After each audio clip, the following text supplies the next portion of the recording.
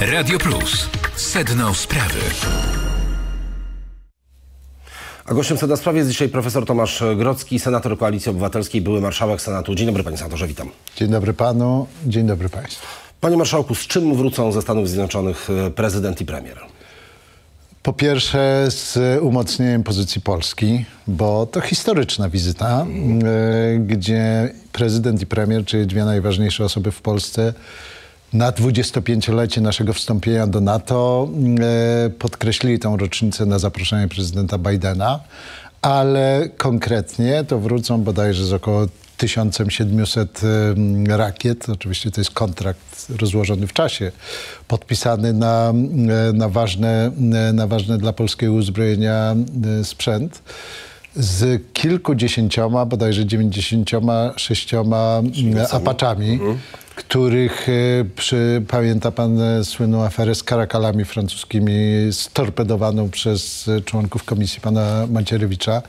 Polska armia potrzebuje mobilności, potrzebuje mm, siły w powietrzu i dla mnie e, ten kontrakt jest niezwykle ważny, bo Apache jest to najlepszy bojowy śmigłowiec, e, jaki jest e, dostępny na świecie. No właśnie politycy PiS teraz mówią, dobrze, że tych karakali nie wzięliśmy. Wielu no, ale, ale, że, że, teraz porządne śmigłowce bojowe, a nie no, ale karakale służyły, karakale. karakale służyły przede wszystkim do przerzucania, że tak powiem, mas wojska. Mhm.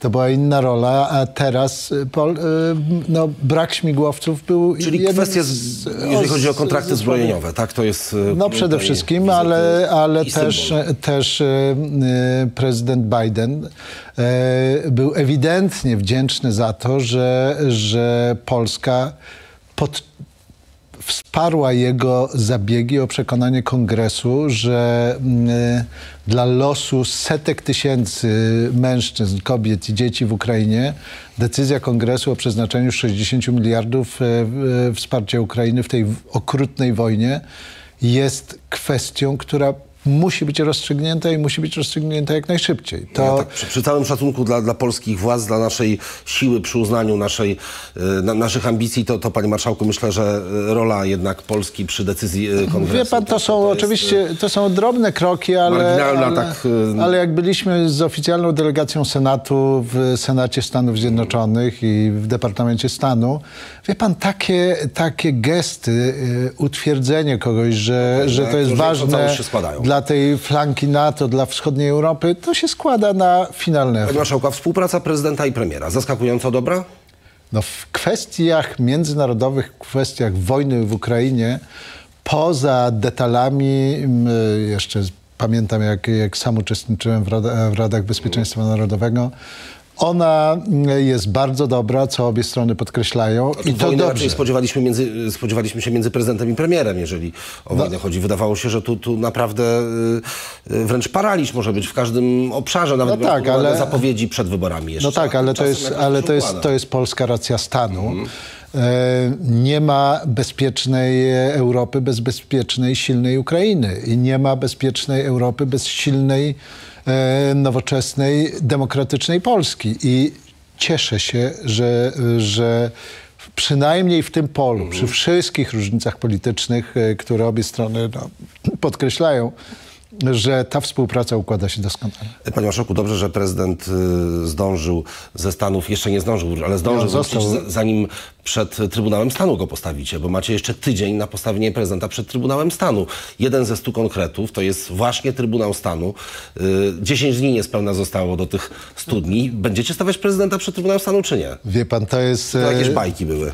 Nie, nie, nie. Niech pan zwróci uwagę, że punkt po punkcie ze stu propozycji programowych e, Platformy Obywatelskiej, Koalicji Obywatelskiej, one są w skrajnie niekorzystnych warunkach przy zabetonowaniu ustawowym wielu rzeczy przy niezbyt przychylnej po, znaczy, postawie prezydenta. W Sejmie Senacie. No dobrze, ale jak prezydent opowiada, odpowiada w sposób y, moim zdaniem y, emocjonalny, a nie racjonalny, że wszystkie ustawy po kolei będzie wysyłał do Trybunału Konstytucyjnego. Trybunał Stępczym dodaje, więc no, są ważne Tak, wtedy. ale wie pan, to nie jest poważne podejście no, do ale, prowadzenia ale jak, jak premier Donald Tusk w expose mówił o tych stu konkretach na 100 dni, to wiedział chyba, kto ale, jest prezydencki. Ale nie, ale nie mówił o tym, że nie mówił o tym, że, że postawi w 100 dni prezydenta przed Trybunałem Stanu. Jak to nie?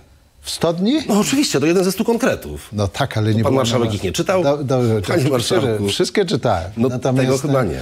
Natomiast, e, natomiast to, wie pan, e, nie jest przesądzone. No, jeżeli prezydent teraz e, mówi, że będzie, nie będzie współpracował na przykład w kwestii powoływania ambasadorów, czyli wizytówek e, Polski na świecie. Raczej w kwestii odwoływania, że nie będzie współpracował, bo ci ambasadorowie są, Nie, tylko nie, nie, nie. nie chce ambasadora, ambasadorów. ambasadora można wezwać do kraju i tam wtedy jest charge Mhm. d'affaires. Natomiast powołanie nowego, nie, nie ma pan racji.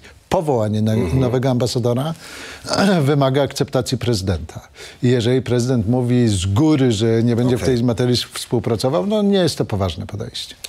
E, Panie Marszałku, a to jeszcze tylko o ten Trybunał zapytam dla, dla prezydenta. Będzie czy nie w końcu? Jeżeli e, bezpieczeństwo, sytuacja z naszą wschodnią granicą taka jaka jest, e, zagrożenie ze strony Rosji, także jeżeli chodzi o Polskę takie bezpośrednie, to jest brane pod uwagę. I teraz prezydent przed Trybunałem Stanu, to jest pan, czas i miejsce na to? Wie pan, Trybunał Stanu jest, jest sankcją polityczną, a prezydent przez 8 lat sprawowania władzy pisowskiej i 8 lat sprawowania swojej władzy Dziewięć prezydenckiej, no prawie 9, to y, w cudzysłowie tyle nagrzeszył w stosunku do konstytucji, w stosunku do, do fundamentalnych praw Rzeczypospolitej, że mm, podstawy prawne do postawienia prezydenta przed Trybunałem Stanu ewidentnie są. E, Panie Marszałku, a z tych 100 konkretów e, na 100 dni chyba dowieść się nie uda większości, prawda? Bo na razie chyba 12 macie. No, e, 100. wie pan, Tydzień został. nie, niech pan nie żartuje, ale KPO 600 miliardów dla Polski załatwione błyskawicznie, które za chwilę z dużym opóźnieniem, ponad kilkuletnim, zaczną w końcu pracować dla Polski, gdzie jak pan wie, z, w sposób kompletnie niezrozumiały PiS nawet nie złożył wniosku o wypłatę tych pieniędzy. Mhm. To jest dla mnie też niezrozumiałe, no to jest, nie złożył, to to, jest, to jest gigantyczny Politycznie ruch. E, tabletka dzień po, in vitro. y, Tabletka dzień po, epokowe rozwiązanie, naprawdę. To Nauczyciele. Cały naród na to czekał. Nauczyciele. Cały naród na to czekał. In vitro? Żeby nie, pan mówię o wiedział. tabletce dzień po, że, że to jest akurat, y, nie, nie wiem, No wie czy- pan, pan i ja może nie jakaś czekamy, ale... Jeżeli z- jako jedną z trzech najważniejszych rzeczy pan marszałek wymienia tabletkę dzień po, Nie, nie, nie, to, wymieniam, wymieniam enumeratywnie. Naj, największą budżetową pozycją to były podwyżki na, dla nauczycieli. I wie pan, e, i to, to już wycierany slogan, e, taka będzie Rzeczpospolita, jak jej młodzieży chowanie, to jest fundamentalny krok. E, e, W tej chwili wiem, że pan minister finansów pracuje nad tą e, nieszczęsną składką zdrowotną, żeby ją, że tak powiem, przywrócić na normalne tory. To ta praca się toczy, wie pan, i, i w skrajnie niekorzystnych warunkach. Ale z tą, z tą liczbą, jeżeli chodzi o 100 dni, to trochę pan premier przesadził, jak rozumiem. No to jest retoryka wyborcza, wie pan, ale, ale wie pan, nie może pan powiedzieć, że powiedział 100 dni, a potem nic nie robimy. Robimy ministerstwa, a mamy kontakt z kolegami, którzy, którzy w tej chwili z różnych e, opcji politycznych No, ale sprawują tę jest, władzę. jednak, tempo jest jednak inne niż to zapowiadane. Panie marszałku, to jeszcze zapytam o, mówił pan o podwyżkach dla nauczycieli, mają podwyżki też inne, takie, z których się Polacy mniej cieszą od 1 kwietnia, podniesienie VAT na żywność. Wie pan, e, to podniesienie VAT na żywność, jeżeli zapyta pan przedsiębiorców, Mhm. się cieszą. Jeżeli zapyta pan konsumentów, o, y, Cieszą nie się jestem jako... przecież będzie mniejsza konsumpcja, panie marszałku. Przedsiębiorcy, no i to jest i tak VAT, co z tego będą mieli przedsiębiorcy? No, no, wie pan, jeżeli ktoś jest VAT-owcem, to VAT jest immanentną częścią e, ekonomii nowoczesnego państwa. Więc e, e, utrzymywanie zerowego, zerowej stawki Mhm. było takim, bym powiedział, e, pompowaniem sterydów w gospodarkę w trudnych czasach, kiedy inflacja była rzędu 16%. Mhm. No tak, i tak konsumentów po prostu. Natomiast, natomiast, wie pan, nie jestem ekonomistą, ale jak czytałem e, analizy tego Business Insidera czy inne, Mhm. e, relatywnie nie zgadzam się z panem, że konsumpcja spadnie. E, Ekonomiści twierdzą, że, że wcale nie musi się to odbyć, odbić na cenach detalicznych, zwłaszcza produktów, które, które kupujemy e, codziennie. Więc zobaczymy. Nie? Natomiast No to- to, jest powrót do, to jest powrót marszałku, do to tak nie wiem, czegoś, co- zdziwię się bardzo, y, jeżeli nie odbije się ten Wie pan, powrót do 5% VAT-u na cenach żywności. to- czytałem, to, czytałem analizę, że w skali roku e, dla m, przeciętnego konsumenta ta różnica może wynieść około 500-800 zł w skali roku. Zobaczymy. No to dla oczywiście wielu No osób dobrze, ale to, to wie pan, z jednej jest strony, z jednej nic, strony... jednak ceny wzrosną, panie marszałku. No to Z jednej- do tego, że wzrosną ceny. No dobrze, ale czy, czy ceny, wie pan, jak jest nazywana inflacja? Jest nazywana podatkiem dla ubogich. Mhm. Ja wolę, żeby ceny, wzro- żeby VAT wzrósł o 5%, niż inflacja wynosiła 18%. Jak Ale to też podbije inflację. Nie podbije. No jak to nie, panie marszałku? No wyższy VAT, no, no, no jasne, mnie pan- to trochę podbije inflację. Niech pan o tym rozmawia. Dlatego, że inflacja spadła, zgodzono się na, zdecydowano się na obniżkę VAT-u, ale to trochę podbije inflację. No tak, no trochę. No ale wie pan, z jednej strony mamy programy socjalne. ubodzy. Jeżeli, jeżeli ma pan z jednej strony, jeżeli ma pan z jednej strony larga manum, szeroką ręką rozdawanie pieniędzy przez, e, przez PiS, zwłaszcza w tym dwutygodniowym rządzie, gdzie samo Ministerstwo Kultury pani Chorosińskiej rozdało chyba 480 milionów, nie swoich, tylko naszych publicznych pieniędzy, to to trzeba przywrócić na normalne tory, bo jeżeli znowu rozpędzimy inflację, to to będzie 100 razy gorsze niż e, przywrócenie 5% VAT-u na żywność. Panie Marszałku, to przed nami internetowa dogrywka, kończymy radiową część sedna sprawy. To teraz krótkie jeszcze jedno pytanie zadam, e, które no, trochę zapowie też temat, który poruszymy po przerwie, bo e, prokuratura wycofała wniosek o uchylenie immunitetu panu marszałkowi. O tym w dogrywce porozmawiamy, to ja teraz tylko tak jednym zdaniem. Czy pan marszałek kiedykolwiek w życiu wziął łapówkę? Nigdy nie wziąłem i cała ta sprawa była, była szyta w momencie od dnia, dokładnie jak zostałem marszałkiem. Miałem cały czas czyste sumienie i wierzyłem, że niezależna prokuratura, jak przeczyta to wszystko, to zachowa się tak, jak powinna się zachowywać niezależna prokuratura. Nic na to nie wpływałem, nikogo nie naciskałem, nikogo o nic nie prosiłem. Byłem przekonany, tym- że to jest temat politycznie szyty. W dogrywce jeszcze o tym porozmawiamy. E, Były marszałek Senatu, dzisiaj senator profesor Tomasz Grodzki jest gościem sedna sprawy. Słuchaczom Radia Plus mówimy dobrego dnia. Radio Plus. Sedno sprawy. Profesor Tomasz Grodzki cały czas jest e, z nami. Panie Marszałku, mówiłem, że kierownictwo prokuratury po zmianie tego kierownictwa e, w Szczecinie wycofało wniosek o uchylenie e, immunitetu panu marszałkowi. Jak wskazano w komunikacie, we wniosku wysłanym w czasach poprzedniego kierownictwa prokuratury znalazły się stwierdzenia, których nie można uznać za ustalenia faktyczne o charakterze prawnym. Ja szczerze mówiąc, jak czytałem to, to e, uzasadnienie, e, to, to, to nie mam wrażenia, że na pewno nie będzie już kolejnego wniosku o uchylenie immunitetu, tylko może będzie inny, panie marszałku. Niech pan nie przesadza. Mhm. Y, może być.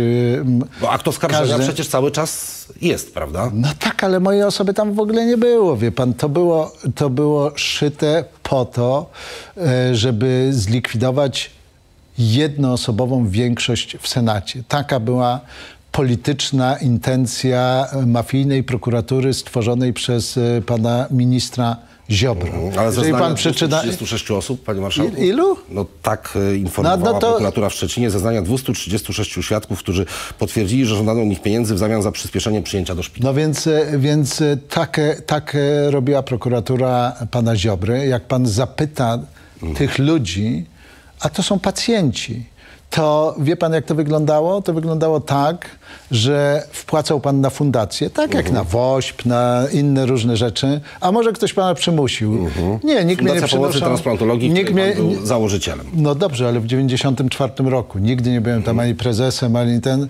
Wie pan, to był gruby polityczny temat i ludzie, którzy są oskarżeni, oskarżani e, o to, bo oni powiedzieli, nie podpisze pan. Pytali pacjenta, czy pan podpisze, że pan był przymuszany do wpłacania pieniędzy. Nie podpiszę, bo to jest, e, bo to jest e, była moja dobrowolna wpłata. To będzie pan oskarżony o łapownictwo. No wie pan, to był cyrk na kółkach i jestem pewien, że niezawisły, niezależny sąd rozbije w proch i pył te, te oskarżenia w stosunku do pacjentów. A dlaczego, panie marszałku, nie chciał pan, żeby wcześniej sąd niezawisły, niezależny e, tego nie rozstrzygnął? Dlaczego pan się immunitetu nie zrzekł? Sąd by Ale wie pan, miałem poczucie pełnej niewinności, więc dlaczego się miałem e, zrzekać immunitetu? Dlatego, No, żeby sąd to rozstrzygnął. Wie pan, wie pan, wie pan, e, wie pan ile... obywatel, panie marszałku, nie wystarcza mu poczucie wie, niewinności, pan- wie, pan ile, wie pan ile trwa, wie pan ile trwa mm, e, sprawa sądowa? No często lata, tak. No otóż to. No.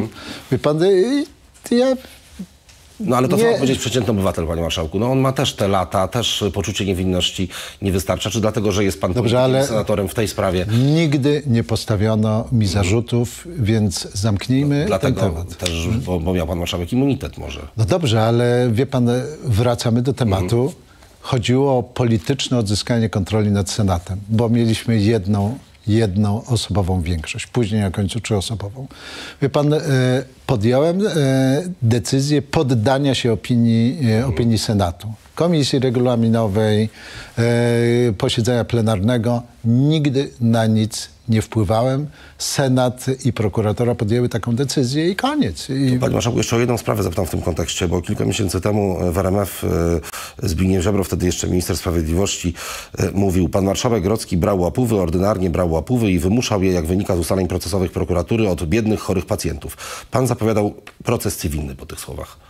Czy wytoczy pan albo wytoczył proces cywilny? Bo jeżeli nie, panie Ja, ja wytoczyłem kilka procesów cywilnych. Za te które słowa? Się, e, ja tych słów akurat, e, szczerze mówiąc, nie, nie zanotowałem. Okej. E, Natomiast, natomiast wytoczyłem kilka, kilku osobom procesy cywilne i procesy karne. One się toczą. One się toczą w swoim rytmie. bez żaden jeszcze się nie zakończył, tak? Jak rozumiem. Panie Marszałku, to, to, to, W niektórych, jeszcze... w niektórych nastąpiły ugody.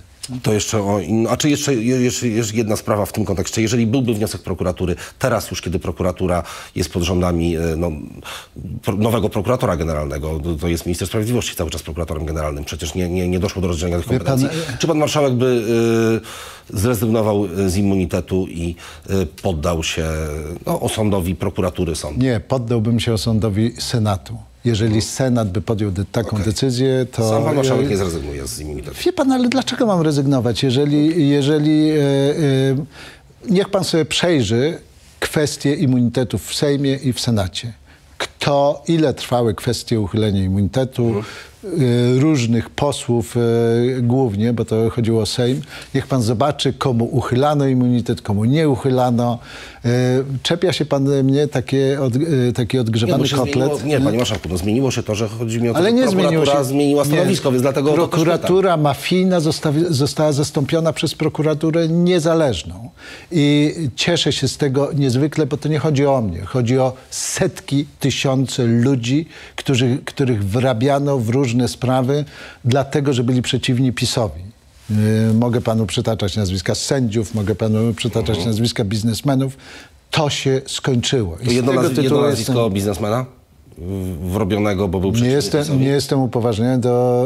u- u- Powiedział pan marszałek, że może przytaczać nazwiska, dlatego nie zapytałem. Mogę, oczywiście, poza anteną pan. Okej, panie marszałku, to jeszcze idźmy y, dalej, jeżeli chodzi o, o Sejm, o, o Senat. Wczoraj z Markiem Jakubiakiem rozmawiałem posłem Kukiz 15 i no co prawda to nie jest najbardziej doświadczony parlamentarzysta, no ale y, już w 2015 roku był y, posłem i mówi, że nie pamięta tak leniwego parlamentu. I faktycznie spojrzałem, Senat od wyborów miał 13 dni posiedzeń, w tym roku zaledwie 6 dni. No, ale, ale jest y, początek marca.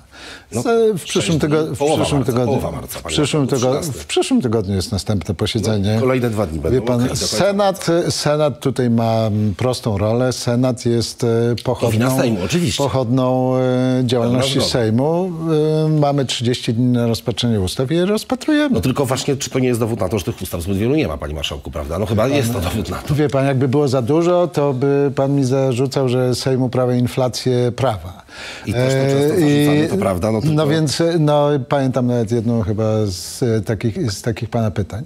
Natomiast, natomiast e, ministerstwa pracują bardzo ciężko i wolę, żeby ustawy przyszły może trochę później, ale porządnie przygotowane. Bo musi pan, e, musi pan wiedzieć, że to, co przychodziło do Sejmu e, z niektórych ministerstw PiSu, to tam były tak rażące, trywialne, proste błędy, że dziwię się, że jacykolwiek legislatorzy to puścili. E, No, błędy na pewno się I myśmy zdarzały, to- i myśmy to- i myśmy- poprawki i wrzucane myśmy na to- i myśmy- no otóż to. Ale, ale panie marszałku, no, no czy jednak teraz nie zastanawia to, to tempo takie, no, no Nie. ślimacze, absolutnie. Nie, mnie bardziej zależy na jakości pracy legislacyjnej niż na tempie. No co pan, co pan oczekuje od tempo? Że co, że tu raptem będzie 50 ustaw z różnych ministerstw, z których... Z No, których jak się po 8 latach przejmie władzy i mówi się, że było tak źle w tylu obszarach, No, ale ta no, praca- potem e, szuflady się otwiera z projektami i bach. Wie pan, z, wie pan, z tych szuflad i szaf to wypadają kolejne trupy. trupy.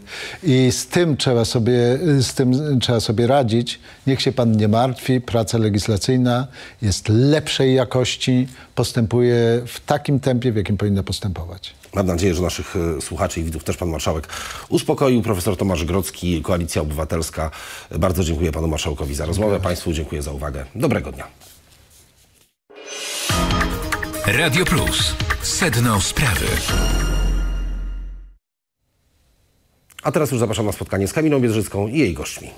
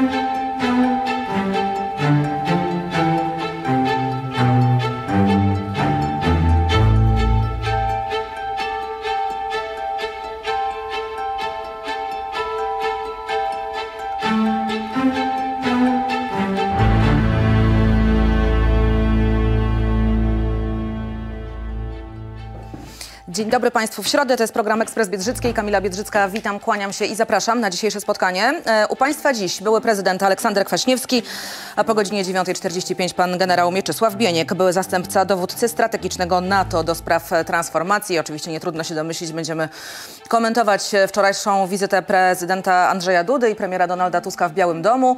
Wnioski, które z tej wizyty płyną, a także oczywiście wrócimy jeszcze do rocznicy 25-lecia Polski w NATO. E, Biały Dom, drodzy Państwo, w komunikacie ze spotkania prezydenta Bidena z prezydentem Dudą i premierem Tuskiem wspomniał o historycznej wizycie, która podkreśliła żelazne zobowiązanie obu krajów na rzecz NATO. Wśród omawianych tematów wymieniono wsparcie dla Ukrainy, bezpieczeństwo energetyczne i znaczenie wartości demokratycznych.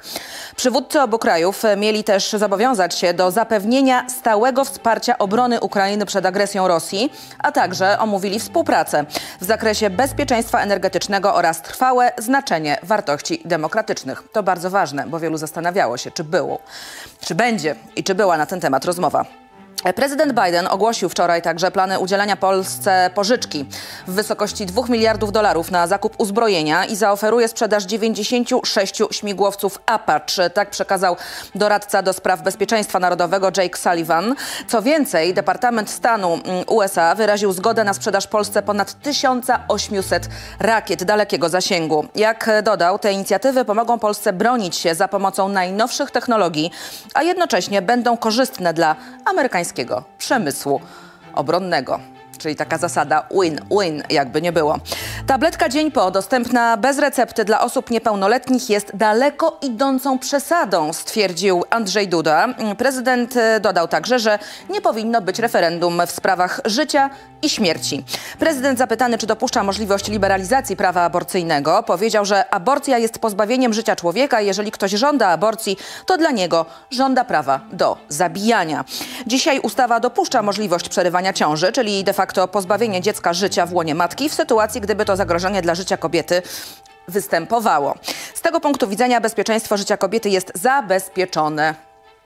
Pan prezydent chyba przespał kilkadziesiąt e, ostatnich miesięcy i historie, które zdawały, zdarzały się między innymi pani Izabeli w Pszczynie. E, no ale dobrze, dodał także, że nie powinno być referendum w sprawach życia i śmierci, ale nie odpowiedział wprost na, na pytanie, czy wziąłby pod uwagę wyniki referendum, gdyby takowe się w tej sprawie odbyło. To jest Ekspres Biedrzyckiej, zapraszam Państwa.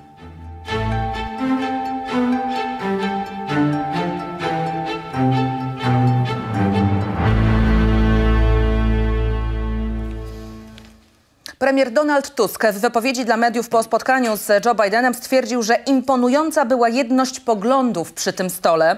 Właściwie w każdym punkcie tej rozmowy mieliśmy wspólne stanowisko z prezydentem Joe Bidenem i ze stroną amerykańską, zapewnił premier. Poinformował też, że rozmowa koncentrowała się wokół pomocy Ukrainie ze strony Stanów Zjednoczonych, Unii Europejskiej i państw NATO, rzecz jasna. Rozmawialiśmy, na ile możliwe jest szybkie odblokowanie pomocy amerykańskiej. Wymienialiśmy uwagi, w jaki sposób mobilizujemy my, Polacy, Unię Europejską na rzecz tej pomocy. Zaznaczył też, że to była poważna rozmowa w poważnej chwili. Poinformował oczywiście, że była także e, poruszona kwestia współpracy polsko-amerykańskiej w kwestii energetyki. E, jest informacja o możliwym kredycie ze strony Amerykanów, korzystnym kredycie na śmigłowce i to jest ta informacja, o której później, wcześniej Państwu mówiłam w kontekście dwumiliardowej pożyczki e, dla Polski i śmigłowców Apache. Apache. Donald Tusk mówił także, że Zachód jest bardziej zjednoczony niż kiedykolwiek wcześniej wcześniej e, miało to miejsce. Pytany o pakiet pomocy finansowej dla Ukrainy stwierdził, że przekazał prezydentowi Bidenowi, że decyzja o odblokowaniu w Kongresie pomocy dla Ukrainy jest bardzo ważna, nie tylko dla Ukrainy, ale także dla Stanów Zjednoczonych. Prezydent Biden powiedział, że jest wciąż optymistą, jeżeli chodzi o wyjście z tego impasu, zapewnił e, Donald Tusk i wyraził nadzieję, że Mike Johnson, czyli szef Izby Reprezentantów, speaker Izby Reprezentantów z Partii Republikańskiej, od którego tak naprawdę zależy mm, los e, ustawy o pomocy dla e, Ukrainy, poczuje odpowiedzialność za tysiące istnień ludzkich na Ukrainie. I tak naprawdę, jeżeli Państwo sobie przejrzą agencje e, zagraniczne amerykańskie, ale nie tylko, e, czy też relacje e, z wizyty mm, najważniejszych polskich polityków, na przykład w CNN-ie, to tam ten cytat pokazywany jest najczęściej. Właśnie te słowa Donalda Tuska, który bezpośrednio do Majka Johnsona zwrócił się e, ze słowami poczuje pan odpowiedzialność za tysiące istnień ludzkich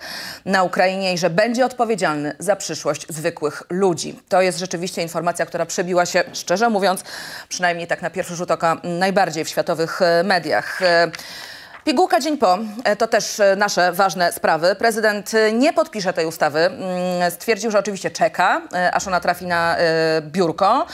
Natomiast stwierdził, że mm, no, wcześniej mówił o tym, że to jest bomba hormonalna, a teraz dodał, że no, dziewczynki niepełnoletnie nie powinny mieć dostępu bez recepty i bez kontroli rodzicielskiej do mm, tego typu leku, do antykoncepcji awaryjnej, podkreślę.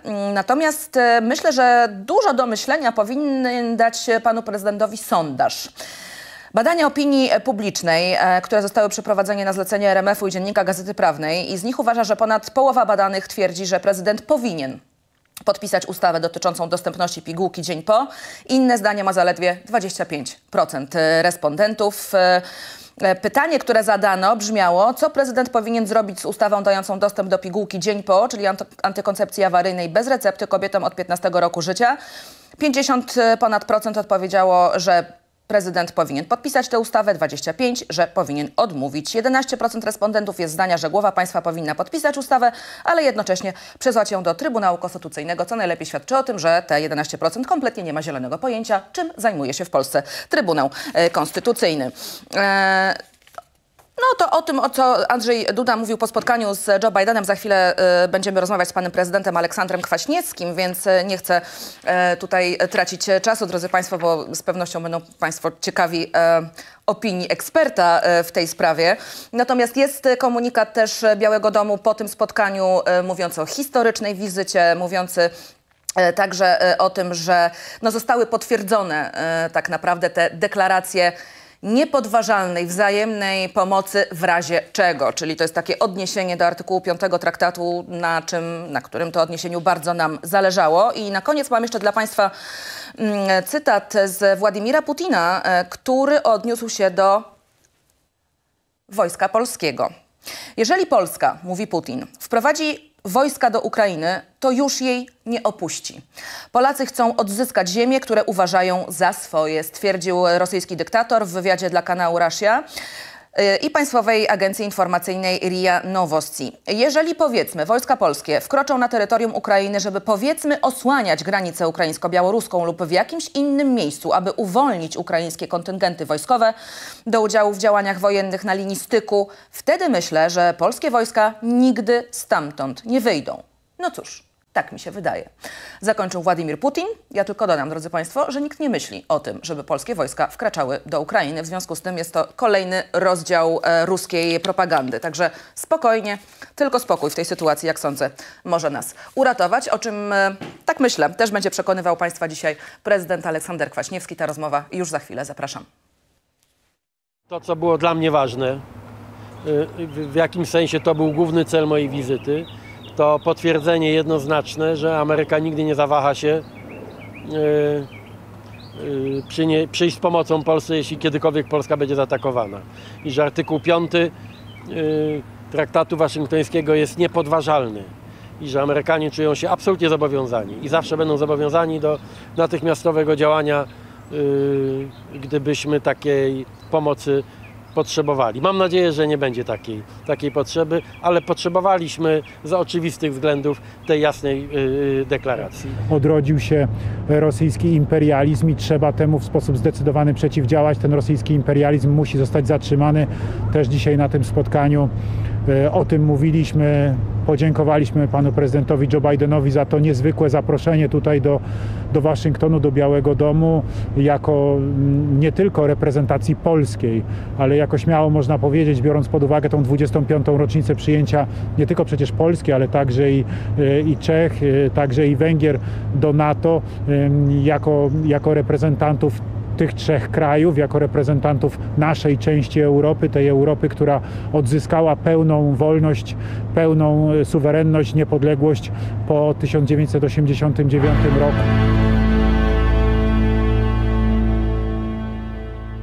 Państwa gościem dzień po historycznej wizycie, jak to nazwał e, Biały Dom, były prezydent Aleksander Kwaśniewski. Dzień dobry, panie prezydencie, kłaniam się. Witam serdecznie. E, Pozwoli pan, że zanim przejdziemy do e, omawiania efektów e, wizyty prezydenta Andrzeja Dudy i premiera Donalda Tuska w Białym Domu u Joe Bidena, to mm, cofniemy się trochę w czasie. Prezydent Stanów Zjednoczonych Ameryki Bill Clinton i prezydent Rzeczypospolitej Polskiej Aleksander Kwaśniewski.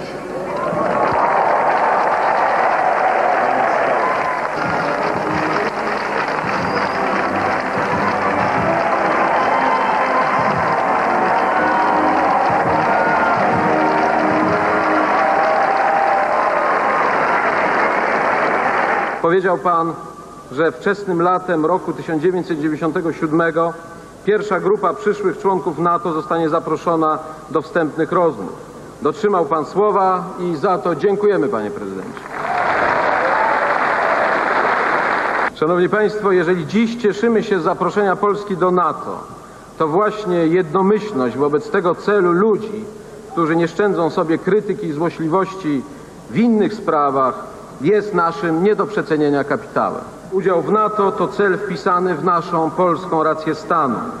Polityka zagraniczna Polski jest jedna, ponadpartyjna i niezmienna. Nothing about you without you. Nic o was bez was. Obecnie. Polska przystępuje do NATO. Polska zajmuje swoje miejsce w społeczności państw demokracji. Nigdy więcej o waszym losie nie będą decydować inni.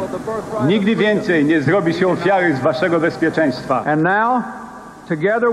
Teraz razem przywróciliśmy Polskę Europie i przywracamy Polsce los, na jaki zasługuje. Od dziś to, co Polska zbuduje w pokoju, chowa w bezpieczeństwie.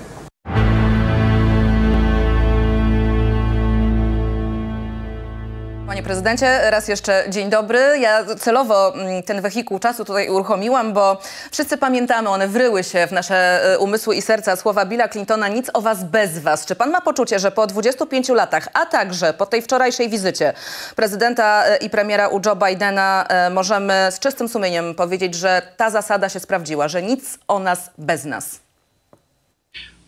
Sprawdza się. Ja myślę, że 25 lat y, y, naszego członkostwa w NATO jest właśnie takim mocnym dowodem. Uczestniczymy w największym sojuszu, mamy swój głos, y, mamy gwarancję naszych partnerów, że gdyby coś się działo, to przyjdą z pomocą. Wczoraj prezydent Biden powiedział to bardzo wyraźnie, z, z niezwykłą mocą. Nie, a nawet ta wczorajsza wizyta na 25-lecie pokazuje, że ten czas nie był zmarnowany, że Polska jest dzisiaj wśród krajów wiodących, gdy chodzi o Sojusz Północnoatlantycki. Nie tylko z tego względu, że jesteśmy krajem frontowym, że, że jesteśmy sąsiadem Ukrainy, gdzie toczy się wojna, ale dlatego, że właśnie ta polska polityka od przez 25 lat, niezależnie od naszych tu wewnętrznych turbulencji, ona jednak była poważna, była, była no, nastawiona na wzmacnianie Sojuszu Północnoatlantyckiego. No właśnie, tym bardziej, że pan w tym przemówieniu wtedy, w 1997 roku, e, powiedział, że e, bardzo wyraźnie widać, że polska scena polityczna jest tutaj e, jednomyślna, zjednoczona, ponadpartyjna. Czy e, ma pan również takie poczucie, że wczoraj prezydent Andrzej Duda i premier Donald Tusk pod tym kątem zdali egzamin? Tak, ja myślę, że wczoraj to było takie potwierdzenie. Proszę pamiętać, wizyt w Białym Domu było dużo i prezydentów, trochę mniej premierów, ale, ale bywaliśmy tam. Natomiast taka wizyta wspólna jest y, pierwszą. Myślę, że zaproszenie amerykańskie wynikało właśnie też z tego, żeby nie używając słów, ale w takiej sferze symbolicznej pokazać, panowie, możecie się kłócić, ale w sprawach najważniejszych, czyli bezpieczeństwo, czyli NATO, czyli Ukraina, jesteśmy, jesteśmy razem. Y, no i to, to się udało. Ja, ja doceniam ten, ten, y, tą symbolikę wczorajszego dnia. Tak samo jak mogę powtórzyć to, co powiedziałem wtedy na placu, na, na, na przed zamkiem królewskim. Polska weszła do NATO dzięki temu, że zapewniliśmy jednomyślność czy konsensus sił politycznych wokół tego strategicznego celu. W okresie negocjacyjnym zmieniło się siedem rządów w Polsce.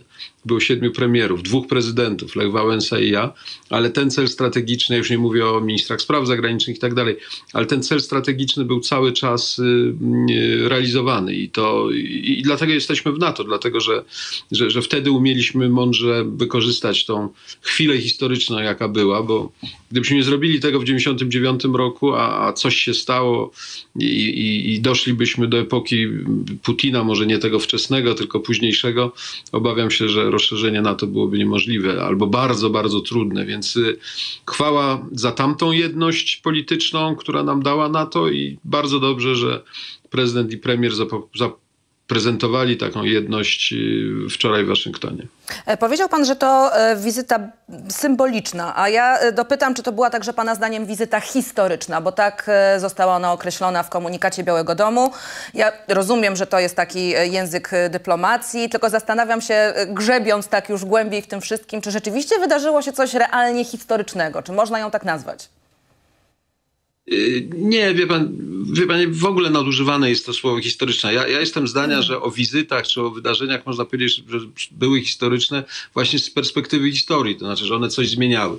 Ta wizyta nie, żadnych nie, radykalnych zmian nie, nie, przyniesie, więc y, to była ważna wizyta i uważam, że, że, że wystarczy takiego komplementu dla, dla tego spotkania. Potwierdziła amerykańską, amerykańskie zaangażowanie w NATO i y, siłę artykułu 5, to jest bardzo ważne, potwierdziła rolę Polski w NATO, to jest bardzo ważne, i potwierdziła, że musimy walczyć i pomagać Ukrainie, bo bez naszej pomocy, rozumiem, pomocy Zachodu, Ukraina tej wojny nie wygra. A porażka Ukrainy oznacza triumf Putina. Triumf Putina oznacza y, y, Rosję na granicy z Polską, Bugu, i oznacza dalsze działanie Putina w tym jego imperialnym zapędzie wobec innych krajów, może nie natowskich, ale takich jak Mołdawia, takich jak kraje Kaukazu, takich jak kraje Azji Centralnej.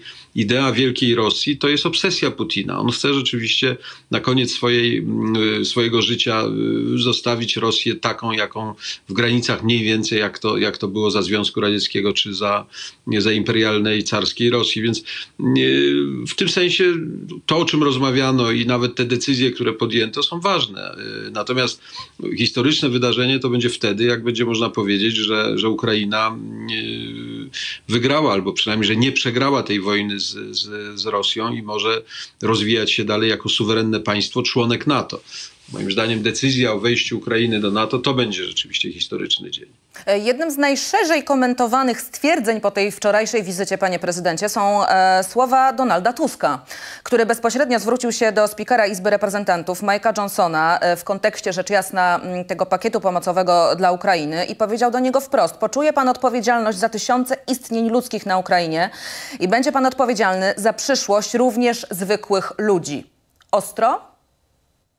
Ostro, ale trafnie. No, wie pan, to, co robi większość republikańska w kongresie, którą kieruje Johnson, ale tak naprawdę kieruje Donald Trump, jest po prostu dramatem. Dlatego, że nieudzielanie dzisiaj pomocy Ukrainie oznacza nie tylko osłabianie, czy wręcz y, uniemożliwienie im podejmowania równej walki z agresorem, y, no to jeszcze oznacza właśnie te straty cywilne. To oznacza, to rozzuchwala Rosjan. Oni atakują rakiet, rakietami różne miejsca, ofiar cywilnych jest coraz więcej, więc dobrze, że, że Donald Tusk y, o tym wszystkim, co jest faktem, co jest prawdą, przypomniał panu Johnsonowi, który jest zaangażowany tak bardzo w, w, kampanię prezydencką w Stanach Zjednoczonych, że nie liczy się z tym, ile jeszcze będzie ofiar, nie liczy się z tym, że rozzuchwala Putina, nie liczy się z tym, że osłabia w ten sposób świat demokratyczny, więc dobrze, że nie tylko dziennikarze, czy niektórzy, czy publicyści, ale także ważny polityk z Europy powiedział to jasno i, i czytelnie.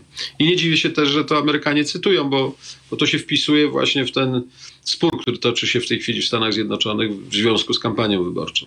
Panie prezydencie, ale sądzi pan, że takie e, słowa e, no, ważnego polityka europejskiego e, będą miały jakikolwiek wpływ na podejmowanie ostatecznej decyzji przez republikanów? No bo wiadomo, że to nie jest tylko jednoosobowa kwestia pana Mike'a Johnsona, tylko szerzej polityki republikanów w kampanii prezydenckiej tej grupy trumpistów, bo ja myślę, że wśród republikanów jest jednak sporo tych ciągle jeszcze, tym bardziej, że klasa polityczna w Ameryce jest dosyć wiekowa, więc sporo tych republikanów, y, którzy pamiętają Ronalda Reagana i wywodzą się z tej szkoły.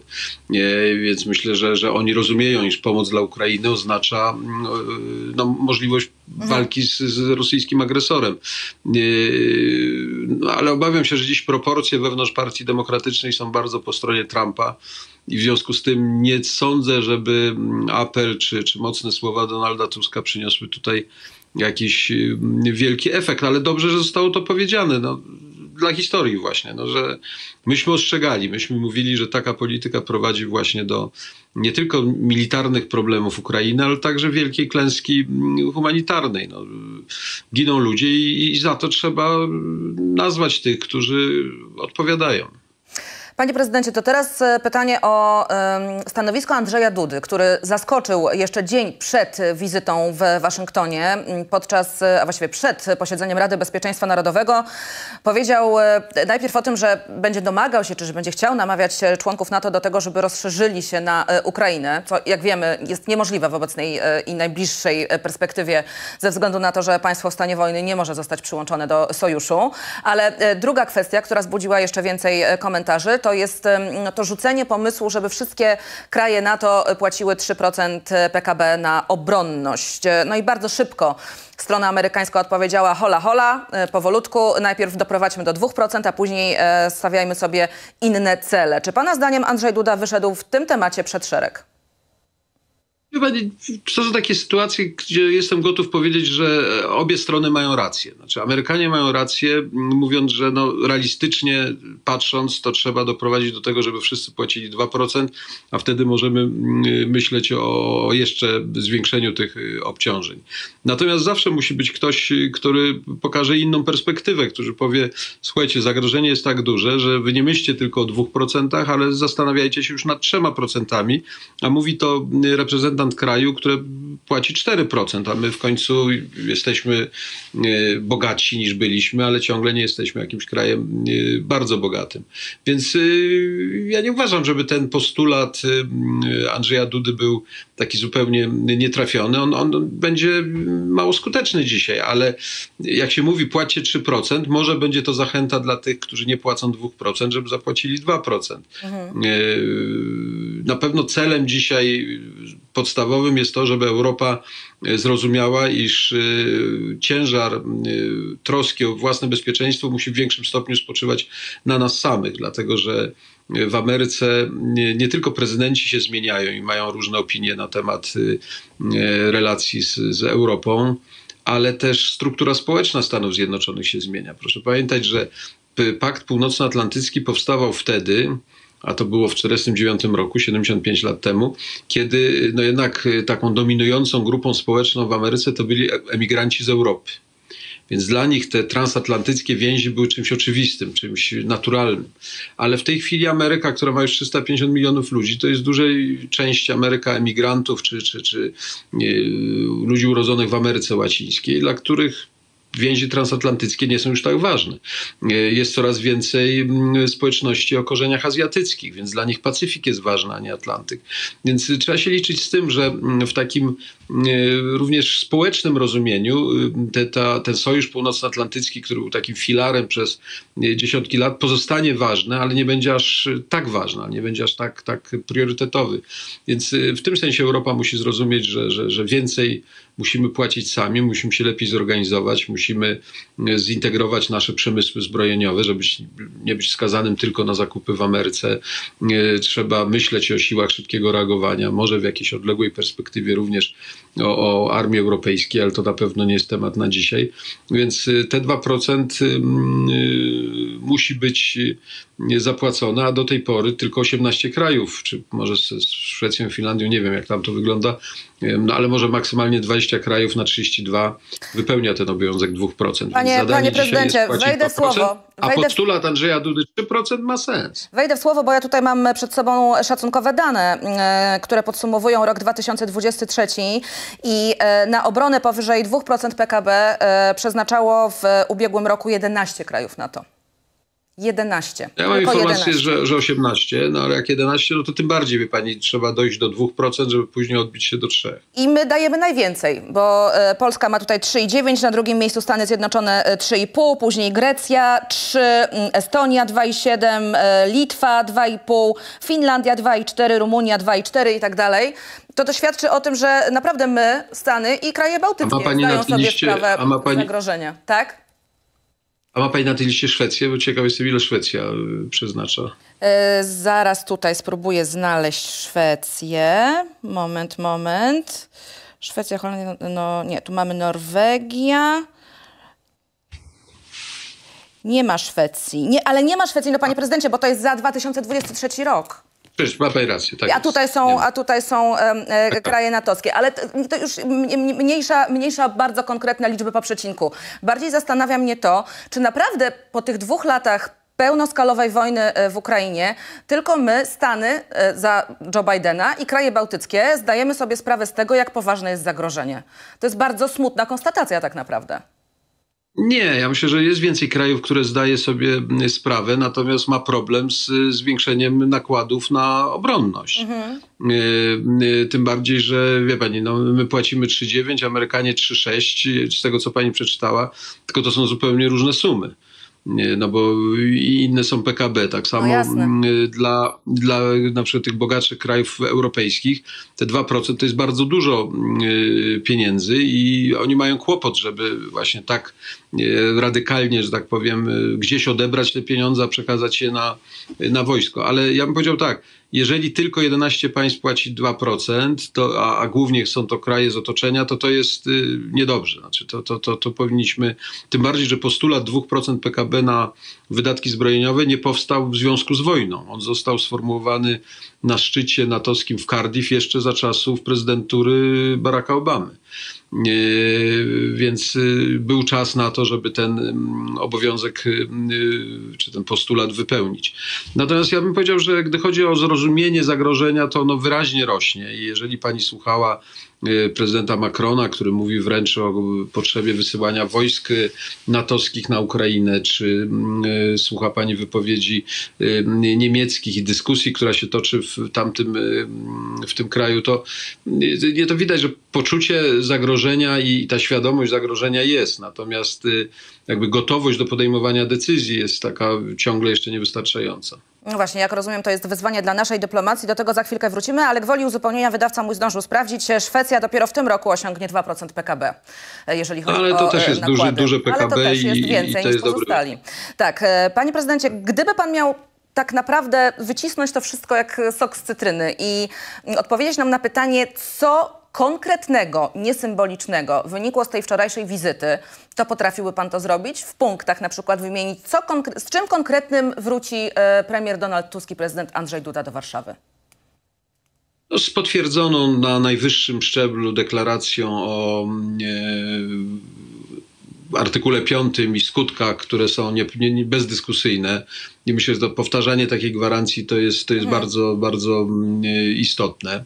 E, po drugie, mm, e, to jest uznanie dla Polski jako ważnego pierwszoligowego członka NATO, no bo nawet jeżeli sam fakt, że, że na rocznicę spotkał się z liderami Polski, a nie doprosił, co byłoby i trudne, liderów Czech, może to tu nie byłoby problem, ale Orbana doprosić na to spotkanie, to byłaby jakaś konfuzja.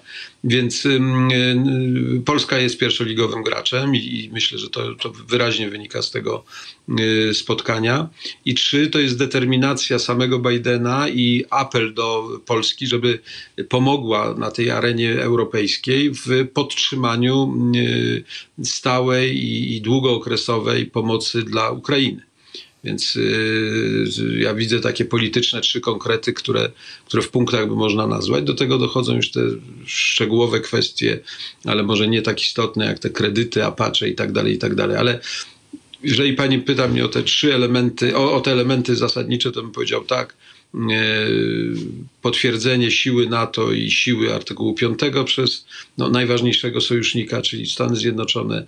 Dwa, uznanie Polski jako pierwszoligowego partnera w strukturach NATO.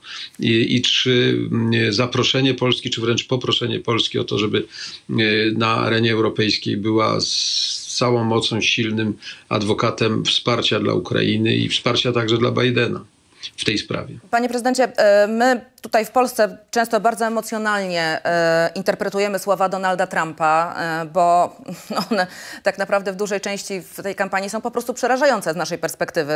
Dlatego chciałabym pana poprosić o rozłożenie tego na czynniki pierwsze i takie odpowiedzenie na pytanie, czy my naprawdę mamy się czego bać, bo jedni mówią, że jeżeli Trump wygra, to świat zmieni się nie do poznania po listopadzie e, tego roku. Inni twierdzą, że zupełnie innym językiem e, posługują się politycy w kampanii, zupełnie innym, e, kiedy już ta kampania się kończy i kończy się szczególnie zwycięsko.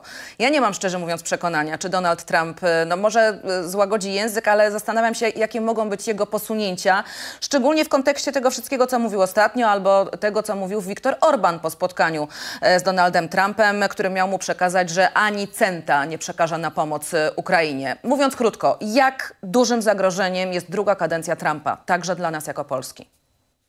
No, spróbujmy na to spojrzeć właśnie bez emocji i spokojnie, choć to nie jest łatwe, ponieważ sam Trump jest człowiekiem bardzo emocjonalnym i bardzo wiele jego wypowiedzi to są przede wszystkim e, emocje, a nie, nie, nie, nie, nie głowa czy nie rozum.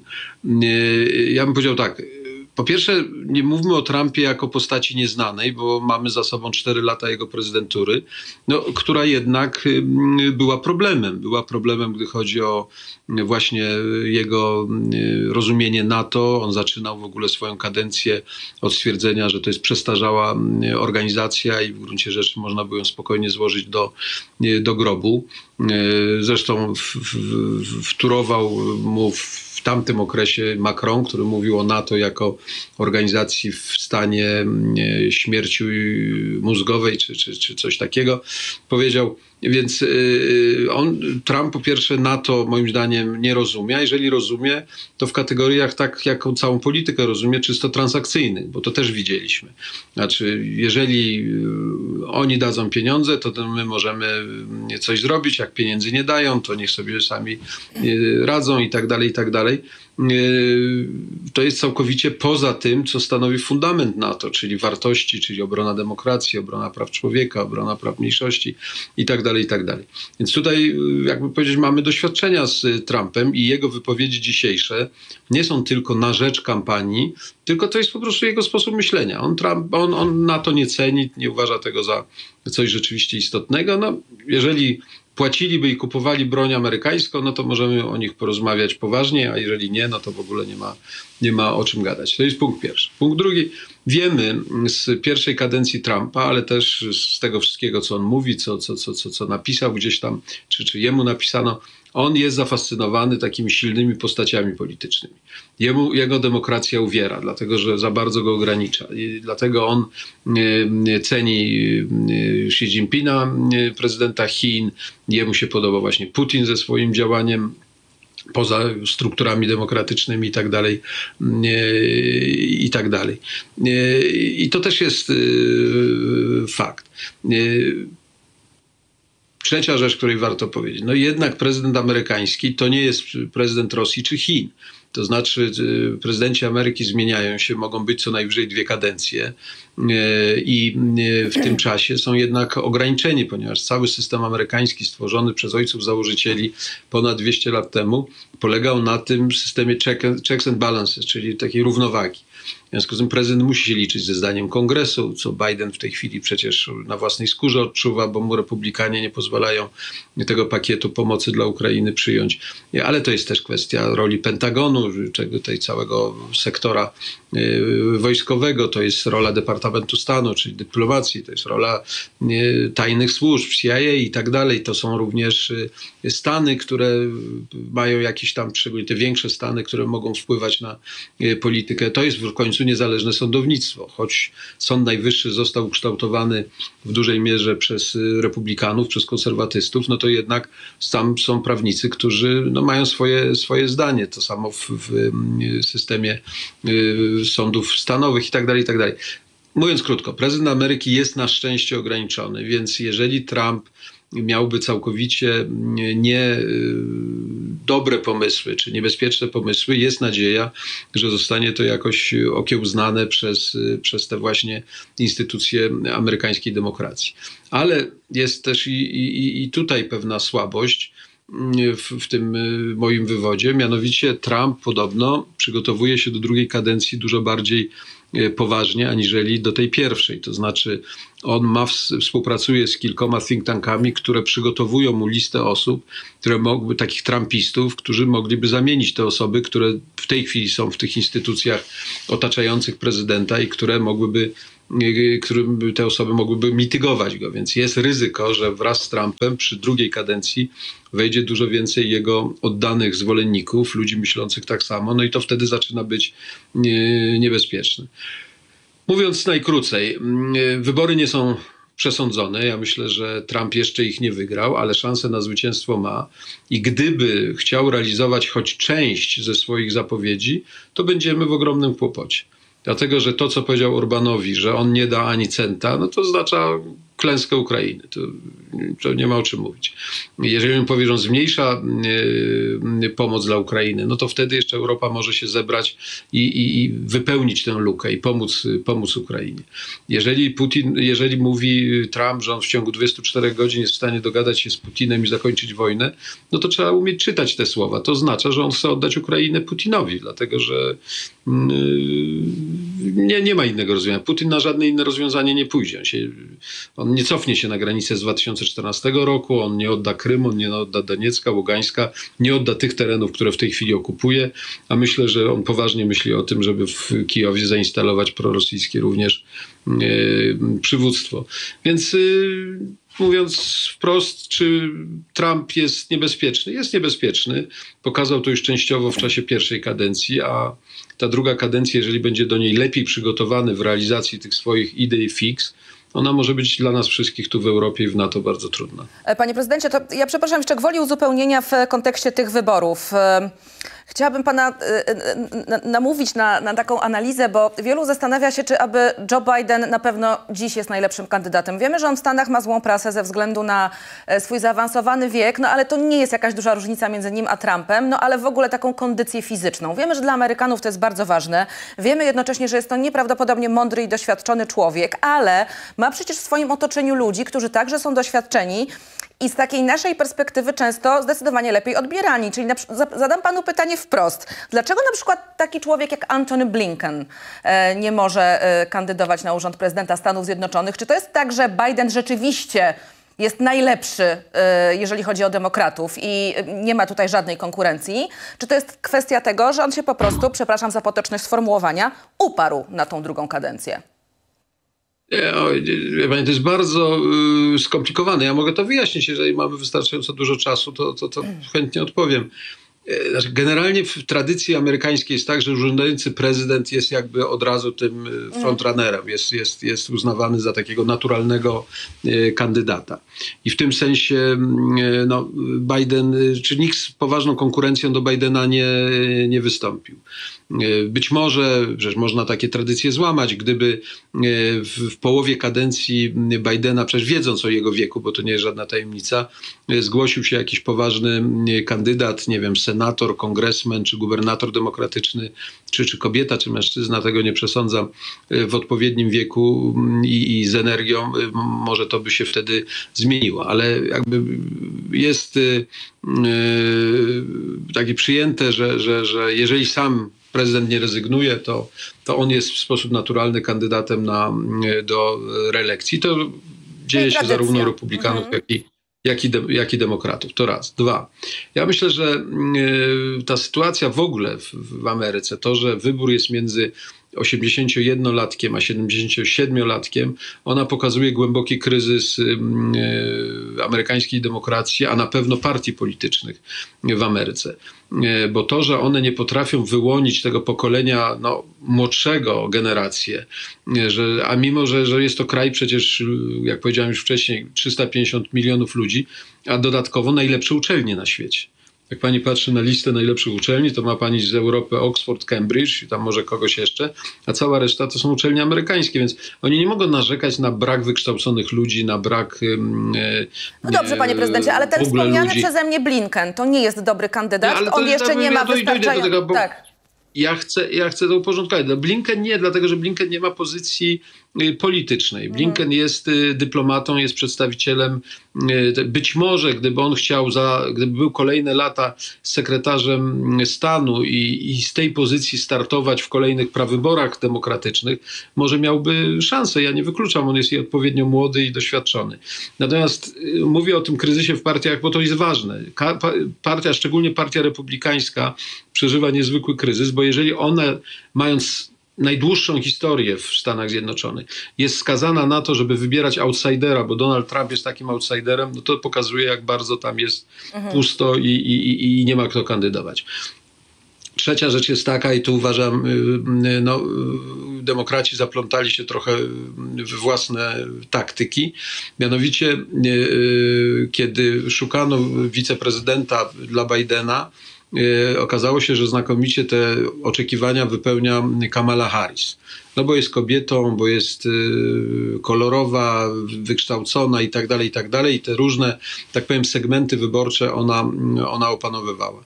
Natomiast niestety cztery lata jej wiceprezydentury pokazały, że ona no, nie ma papierów prezydenckich, bo jej popularność jest jeszcze niższa niż y, Bidena. I, I tu jest ten kłopot, że gdyby wiceprezydent przy Bidenie przez te cztery lata miał dzisiaj te papiery, nazwijmy prezydenckie, to ta zamiana mogłaby być całkowicie naturalna i nawet to by mogło zadziałać w, tym, w tych wyborach, bo dobra, Biden mógłby powiedzieć, no ja mam swoje lata, ale patrzcie, mam taką młodą czy młodego wiceprezydenta i on mnie w każdej chwili jest w stanie zastąpić. No, w przypadku Kamali Harris ten argument niestety yy, nie działa.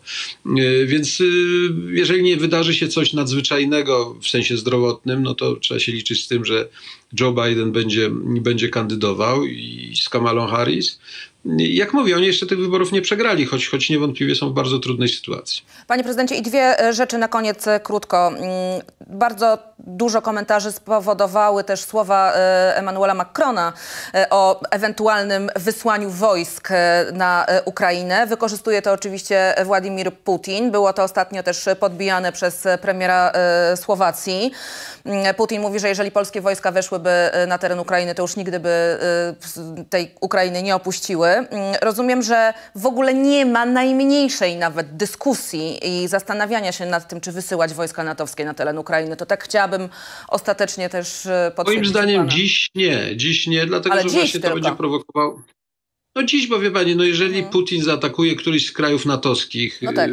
Czego sobie dziś nie wyobrażam, ale za, za, po wyborach amerykańskich za rok, za dwa mogę sobie wyobrazić, no to wtedy innego wyjścia nie będzie, tylko że wtedy mówimy już o innej wojnie, mówimy rzeczywiście o, o wojnie światowej, a przynajmniej wojnie europejskiej.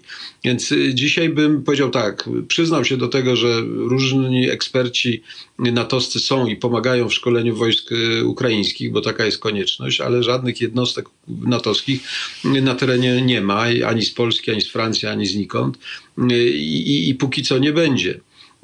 Jeżeli Putin nie będzie tej wojny dalej eskalował. To też trzeba sobie powiedzieć i no może to nawet trzeba by to politycznie powiedzieć przez któregoś z liderów, że jeżeli on nie zaatakuje krajów NATO, to kraje natowskie nie będą jednostkami wojskowymi w tej wojnie e, uczestniczyć. Natomiast ja myślę o innej kwestii, która wydaje mi się ważna.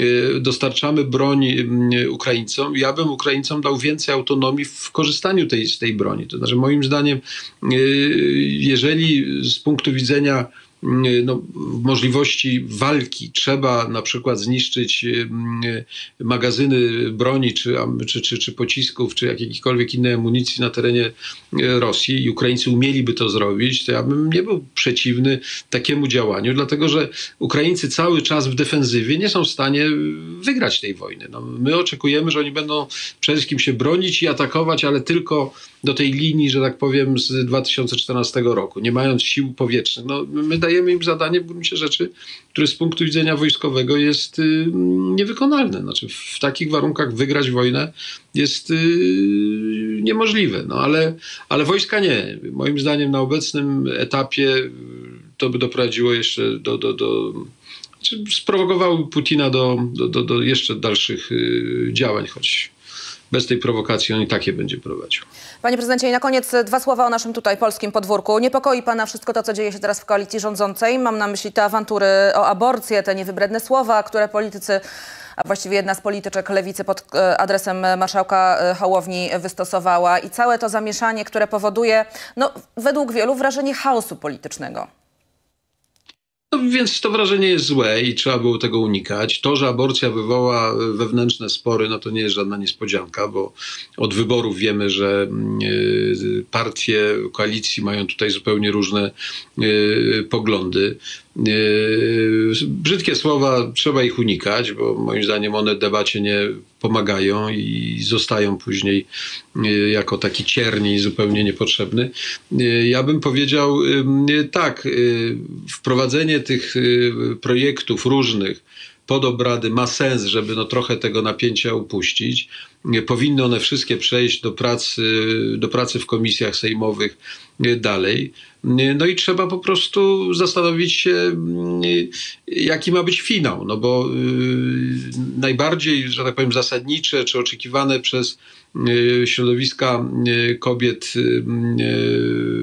czy części kobiet projekty nie przejdą, znaczy większości nie uzyskają, czy też uważam z drugiej strony, że naiwne jest sądzenie, że można wrócić dzisiaj w Polsce do kompromisu, kompromisu z 93 roku i uznać, że sprawa jest załatwiona. Nie, mamy do czynienia już z innymi kobietami, dużo bardziej świadomymi, dużo bardziej energicznymi, dużo bardziej upolitycznionymi i, i tu tu, tu mydlenie im oczu kompromisem z 93 roku w ogóle nie zadziała. W związku z tym, jak koalicja i partie koalicyjne chcą na finał, że tak powiem, znaleźć jakieś rozwiązanie, no to jest pytanie za, za 100 punktów, ale nie do mnie, tylko do liderów tych partii. Natomiast na obecnym etapie uważam, że do pierwszego czytania powinno dojść, powinny wszystkie te projekty być skierowane do dalszych prac, no i w ten sposób trochę uzyskać czasu i także wysłuchać różne środowiska i mieć szansę na kontakt z tymi środowiskami, żeby wytłumaczyć wytłumaczyć, co dziś jest w Polsce realne, a co nierealne ze względu na układ sił w parlamencie. A pana zdaniem marszałek Hołownia popełnił błąd, dolał do do ognia? Mówi, że chciał wygasić emocje, a tak. zupełnie inny efekt odniósł.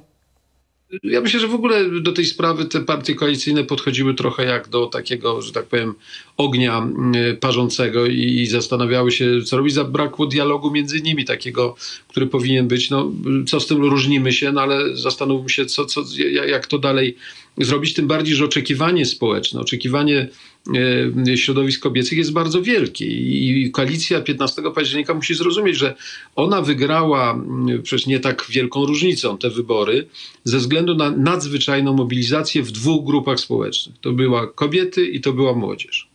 Tego nie było wcześniej. Więc dzisiaj przynajmniej w stosunku do kobiet i tych młodych ludzi także, no trzeba pokazać, dobra, taki mamy plan. Mamy różne poglądy, ale, ale taki mamy plan. Ja zresztą na marginesie rozumiejąc postulaty lewicy i, i, i, sympatyzując z nimi, uważam, że też i lewica na przykład nie powinna tak zupełnie tego, tego pomysłu referendalnego odrzucać. Ja uważam, że, że dzisiaj może to jest jeszcze za wcześnie, żeby, że, żeby już się na to decydować, bo, bo jeszcze mamy tą całą pracę parlamentarną, ale ja bym, ja bym też poważnie potraktował ten, ten, ten No ale z drugiej strony, panie prezydencie, Andrzej Duda powiedział już wczoraj wprost, nie dla pigułki dzień po, nie dla rozstrzygania o kwestiach życia i śmierci w referendum. Więc jakby temat chyba referendum jest zamknięty.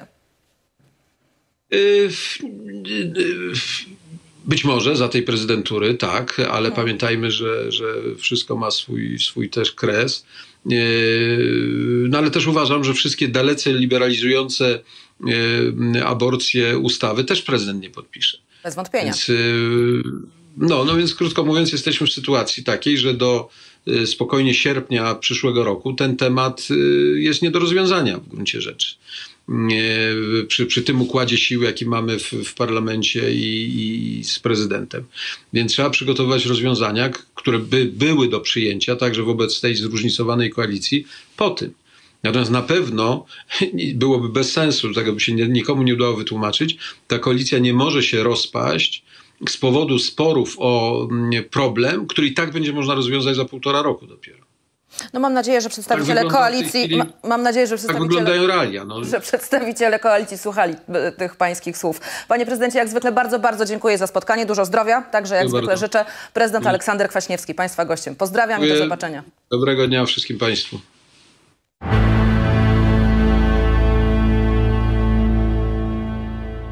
A u Państwa już za chwilę generał Mieczysław Bieniek, a to oznacza, że naprawdę warto z nami zostać, także zachęcam, zaraz wracamy. Dochodziło nie tylko do tego, że zaniechano wzmacniania armii i zwiększania, to podjęto działania, które sprowadzały się do zmniejszania armii i jej osłabiania.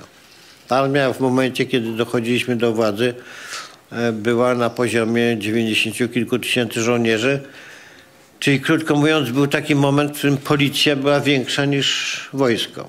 Dążymy do pokoju, bo sojusz jest sojuszem obronnym.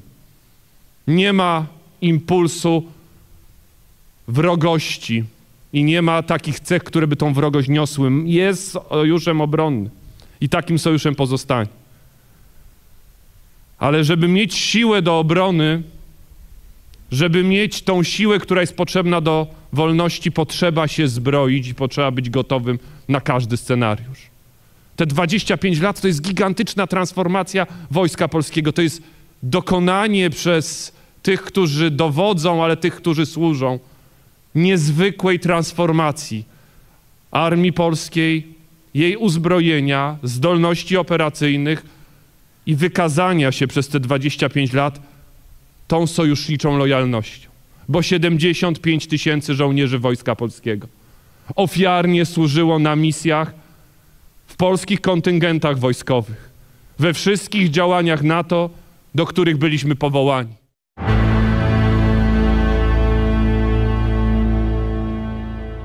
Wreszcie się doczekałam. W studiu pan generał Mieczysław Bieniek, były zastępca dowódcy strategicznego NATO do spraw transformacji. Dzień dobry, panie generale. Dzień dobry pani, dzień dobry państwu. Panie generale, czy wczorajsza wizyta prezydenta i premiera w Białym Domu była sukcesem z punktu widzenia y, naszego bezpieczeństwa, obronności, i umów, e, które zostały wstępnie zawarte.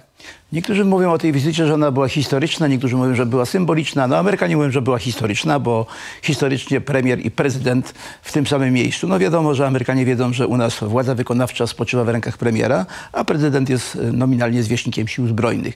Natomiast e, podkreślenie po raz kolejny znaczenia artykułu 5 to ważne. Ważne w obliczu tego, że NATO będzie wkrótce miało 75 lat. Ważne dlatego, że po raz pierwszy ten artykuł 5 został użyty po zamachach na World Trade Center mhm. we wrześniu 2001 roku. I wtedy pokazaliśmy tą solidarność sojuszniczą. I teraz ważne, dlatego że nasz nieobliczalny sąsiad prowadzi agresywną wojnę już dwa lata na Ukrainie i kraje bałtyckie mają prawo być zaniepokojone. Polska jako ten kraj frontowy, flankowy podkreśla cały czas, że plany regionalne, artykuł 5, artykuł 4 i artykuł 3 to nie są puste artykuły, to są artykuły, które są wypełnione treścią.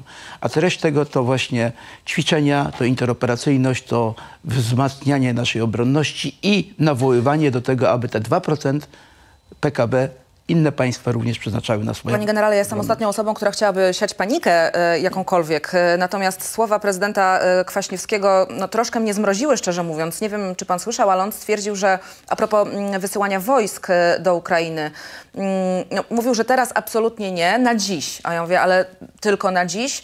No tak, no bo jeżeli wybory w Stanach rozstrzygną się tak, a nie inaczej. Jeżeli do władzy wróci Donald Trump i spełni te swoje zapowiedzi dotyczące chęci utopienia tak naprawdę Ukrainy, nazywajmy rzeczy po imieniu, e, no to te, do tej takiej wojny na linii NATO-Federacja Rosyjska może dojść nawet w ciągu y, dwóch lat. Pan się zgadza z taką opinią? E, Bardzo sobie cenię opinię e, prezydenta Kwaśniewskiego, który 10 lat był naszym prezydentem Mhm. i za jego prezydentury weszliśmy do NATO, przypomnę, i do Unii Europejskiej. E, Ale e, muszę powiedzieć tak, e, bo to trzeba Rok, rozebrać... dwa nawet powiedział, przepraszam, że Putin może wtedy zaatakować NATO. E, no muszę to rozebrać na czynniki pierwsze. Po pierwsze, e, Ukraina nie jest członkiem NATO. E, NATO wspiera, Unia Europejska i Zachód wspiera e, Ukrainę w jej wojnie o niepodległość. Są e, perspektywy przyjęcia Ukrainy do NATO w przyszłości. Gdyby ona była w przyszłości już w NATO, to wówczas tak, można takie e, w dalszej perspektywie założyć e, działania, ale póki co nie. Wejście jakiegokolwiek państwa natowskiego do wojny na Ukrainie, konwencjonalnej lub innej, oznacza, że my wchodzimy jako no to jest sojusz jasne. obronny tak, do, tak. do, do... Ale mówimy o scenariuszu Trump dochodzi do władzy, Ukraina pada, Putin podchodzi pod nasze granice, granice państw bałtyckich i zaczynamy wojnę NATO-Rosja. Czy to jest możliwe My mieliśmy w tak doświadczenia- krótkim czasie? My mieliśmy doświadczenie z Trumpem pięcioletnie, no my jako społeczeństwo międzynarodowe. On tam obiecywał, że spali Koreę Północną ogniem. On mówił o co- coś o użyciu broni jądrowej. Mówił, że bardziej wierzy agentom FSB niż swoim własnych służbom. Także dużo rzeczy mówił. Y, Ja chciałem tylko powiedzieć, że Ameryka, Stany Zjednoczone dwukrotnie y, wchodziły do Europy, a nie chciały wejść po pierwszej i po drugiej wojnie światowej i Europy nie opuszczą, bo to jest żywotny interes Stanów Zjednoczonych i tak sobie prezydent y, no, zgodnie z ich y, y, prawem nie może wypowiedzieć jakiegoś paktu. Oczywiście zaangażowanie może być mniejsze, ale gdybyśmy spojrzeli dzisiaj na zaangażowanie Stanów Zjednoczonych w Europie, a w Polsce, mamy ich 12-14 tysięcy żołnierzy, to jest prawie jedna dziesiąta na, naszych sił zbrojnych Mhm. na naszym terytorium, nie mówiąc o możliwości przerzutu tych sił, co zostało udokumentowane w trakcie ćwiczeń Steadfast Defender. Panie generale, czy 2 miliony dolarów pożyczki od y, Amerykanów na zakup uzbrojenia to jest dużo czy mało? Y, Chyba 2 miliardy, tak? 2 miliardy, a ja powiedziałam miliony? Nie, miliardy, 2 miliardy dolarów, Dwa tak, 2 miliardy. miliardy dolarów. To, to dużo, to dużo w perspektywie takiej, że mamy bardzo duże zobowiązania, e, powiedzmy, zakupowe, bo systemy HIMARS, samoloty F-35, amunicja do tych systemów, szkolenie, pakiet szkoleniowy, pamiętajmy o tym, że musimy o tym myśleć, pakiet logistyczny, to dużo. E, to dużo i to, to dobrze, ponieważ e, no, kiedyś to trzeba będzie spłacić oczywiście. E, Natomiast e, w sytuacji, w której się znajdujemy, bezpieczeństwo jest najważniejsze. Ja byłem na kilku wojnach, ja widziałem, co się dzieje w społeczeństwach, w krajach w miarę zorganizowanych, takich jak na przykład była Jugosławia, który, która kwitła w latach 70., a później Bośnia i Hercegowina i ta wojna spowodowała, że cofnęli się o 15 lat. Byłem w Iraku, byłem w Afganistanie, widziałem to wszystko. Nie ma nic ważniejszego nad bezpieczeństwo. E, Te lecące bomby, te, te, te za- zabite osoby, ta, ta, te, te przemoc, ból, męczeństwo tych ludzi, to jest coś okropnego. Po prostu nigdy do tego nie możemy dopuścić. I ta, ta, ta zdolność naszego państwa i sojuszu do odstraszania i obrony w jakiś sposób determinuje nasz sposób działania. Ja wiem, że, że są inne wymogi w społeczeństwie, jest nauka, szkolnictwo, służba zdrowia, prawda, też potrzebuje e, pieniędzy. Natomiast no, musimy... Tego wszystkiego nie będzie, jak się pojawi wojna, więc Dokładnie. temat się pani zamyka. E, e, Panie generale, a sądzi pan, że Władimir Putin dzisiaj boi się NATO w dalszym ciągu? Władimir Putin strach jest coraz mniejszy. jest y, prezydentem, a wcześniej jeszcze premierem od chyba dwudziestu paru lat. Wie pani, co się w głowie tego człowieka dzieje, to już Trudno trudno, powiedzieć. powiedzieć. Kiedyś nawet prezydent Kwaśniewski, którego przywołała pani przed chwilą, powiedział, że on już chyba w dziewiątym roku prezydentury wydawało mu się, że wszystko wie.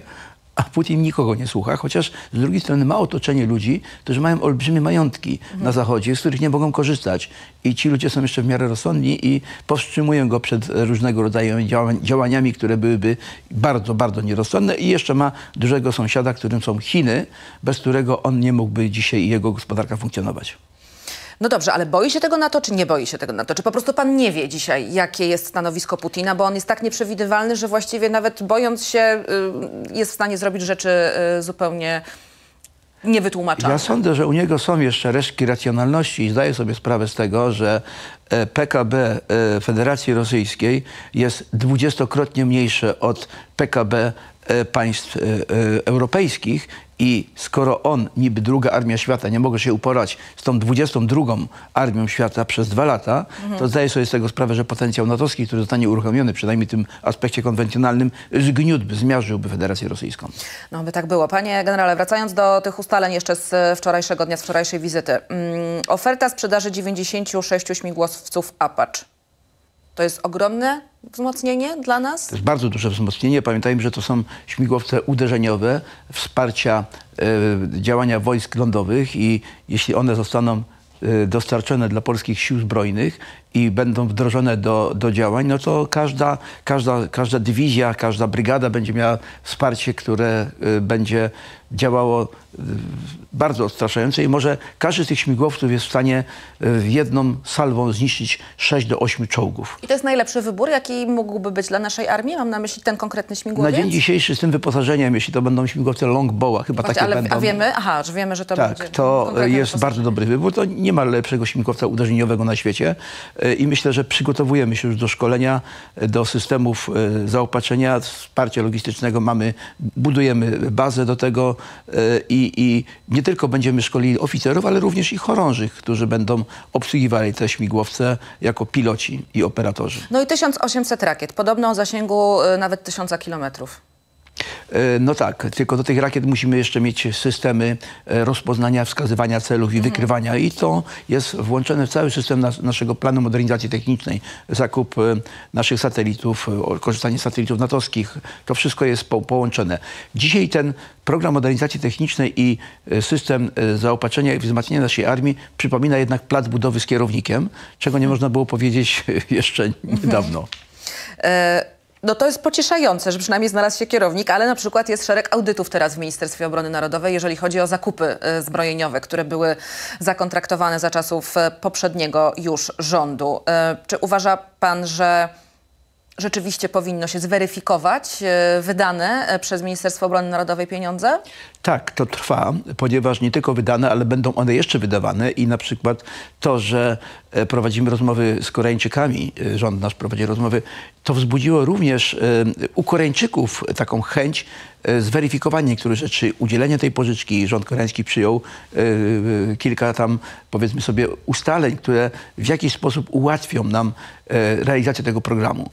To jest potrzebne. Potrzebne, żeby ustrzec się błędów, którzy, których nie ustrzegli się nasi poprzednicy. To nie jest, oczywiście ja, ja rozumiem, że myśmy musieli kupić niektóre rzeczy od razu, ze względu na to, że wydaliśmy bardzo dużo sprzętu postsowieckiego dla Ukrainy i trzeba było wzmocnić nasz potencjał i to trwało, no ale e, patrząc na różnorodność tego sprzętu, będzie bardzo trudno logistycznie to utrzymać, bo trzy rodzaje czołgów podstawowych, no to e, chyba niewiele armii na świecie to, to posiada. Panie generale, to teraz e, temat e, procenta PKB, który powinniśmy wszyscy jako członkowie NATO przeznaczać na obronność. E, Według statystyk my jesteśmy na pierwszym miejscu, bo przeznaczamy 3,9, to jest nawet więcej niż Stany Zjednoczone, oczywiście proporcjonalnie do wysokości PKB. Donald Trump w dość niefortunny sposób rozpoczął w ogóle dyskusję na temat tego, ile państwa NATO powinny przeznaczać na obronność. No ale gdzieś tam poruszył ten temat wczoraj prezydent Andrzej Duda, nawołując państwa NATO do tego, żeby to było 3%. Administracja amerykańska od razu odpowiedziała powoli, zacznijmy od dwóch y, i będziemy myśleć dalej. E, Czy pan uważa, że dobrze prezydent zrobił, stawiając sprawę w taki sposób, y, no, trochę patrząc z góry na resztę, czy nie? Czy to było niepotrzebne? Wie pani, kilka razy byłem e, w tym NATO, również byłem przedstawicielem polskim przy NATO i Unii Europejskiej. I ta dyskusja o tym 2% PKB była bez przerwy przy tym naszym owalnym stole.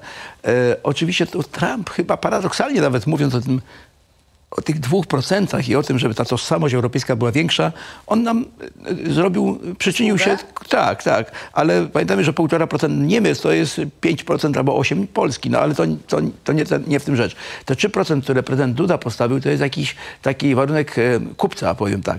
Aha, 3%, ale dobrze by było, jak, jak dacie te 2%. Więc Amerykanie powiedzieli, jest ok, bardzo się cieszymy, natomiast 2% to jest coś, co jest niepisane, ale powinno być e, zrealizowane i do tego dążymy. E, Panie generale, to, to jeszcze do artykułu 5 chciałabym wrócić, bo pan powiedział, że potwierdzenie e, funkcjonowania e, te, artykułu 5 jest no, jednym z e, najważniejszych tych przekazów z wczorajszej wizyty, ale jak ja wczoraj sobie czytałam rozmaite analizy, to znajdują się już tacy, którzy twierdzą, że artykuł 5 hmm, no to nie jest napisany dość jednoznacznie. On pozos- pozostawia szerokie pole do interpretacji, że to jest tak, że są zobowiązane kraje e, do mm, no, wspólnego wystąpienia wobec e, agresora, ale są też tacy, którzy twierdzą, że to nie jest takie, takie postawienie sprawy zero-jedynkowo. To jak to jest? E, tym Wie pani, ja nie mogę wszystkich rzeczy powiedzieć, natomiast powiem to, co mogę powiedzieć i ch- pragnę uspokoić wszystkich. Racjonalizacja tego artykułu 5 przejawia się w postaciach, postaci planów regionalnych. One były kiedyś ewentualnościowe. W tych planach, te, te plany z kolei przekładają się na szereg ćwiczeń, które się odbywają, chociażby ten Steadfast Ten ostatni. Defender Mhm. i ten etap ostatni Dragon 24. Co obserwowaliśmy od, od lutego? Przemieszczenie dużej ilości wojsk różnymi drogami morskim, morskimi, e, e, powietrznymi, lądowymi, kolejowymi, prawda? Duża masa wojsk przez ten okres czasu, czyli inaczej siły wzmocnienia. Następnie te siły weszły w rejony, gdzie ewentualnie mogą odbywać się działania zbrojne, ale oprócz tego już tam są siły. Niech pani nie zapomina, że w krajach bałtyckich są grupy bojowe, w Polsce jest grupa bojowa, mamy inne wojska i te siły wzmocnienia idą na wypadek, gdyby zagrożenie było. To jest to nic innego, tylko pokazanie tego, co może być Mhm. w scenariuszu wydarzeń, oby on, one nie nastąpiły. To jest racjonalizacja artykułu 5. Jakie wojska, w jakim czasie, gdzie będą się tankowały, gdzie mają składy magazyny i amunicji, gdzie się mają rozwinąć, gdzie będą wrażenia i tak dalej, i tak dalej. Tego nie możemy mówić, ale to jest. No po cóż takie ćwiczenie? Po co 90 tysięcy żołnierzy, a teraz w tym ostatnim etapie 20 ćwiczy? No to nic innego, tylko to. Dowódca operacyjny No to jest NATO. też takie odstraszanie, jak rozumiem. To jest prawda? odstraszanie, bo my jesteśmy paktem obronnym, ale pokazanie przeciwnikowi, uważaj, bo my wiemy, że ty się ewentualnie zdecydujesz, ale my wiemy, gdzie się uderzyć. To znaczy, my nie uderzymy piersi, ale gdyby on się już rozwinął, wchodził w nasze granice albo uderzył na nasze cele, lotniska, porty, bazy i tak dalej, to my wiemy, jak go trafić. Tymi właśnie pociskami dalekiego zasięgu, o którym pani powiedziała, naszym lotnictwem i czym innym, bo mamy to w naszej dyspozycji w przeciwieństwie do Ukrainy, która nie ma lotnictwa, która nie ma rakiet w odpowiedniej ilości i nie może zaatakować celów na głębokim zapleczu nieprzyjaciela. Panie generale, czy w kontekście tego, co może się wydarzyć w listopadzie w Stanach Zjednoczonych, czyli powrotu Donalda Trumpa na fotel prezydenta, my powinniśmy szukać tej drugiej nogi, jak to się potocznie mówi, takiej równoważnej dla naszego bezpieczeństwa, bo wiadomo, że NATO to jest absolutna podstawa e, naszego bezpieczeństwa, naszej obronności, ale są też tacy, którzy twierdzą, że te plany wzmocnienia współpracy obronnej w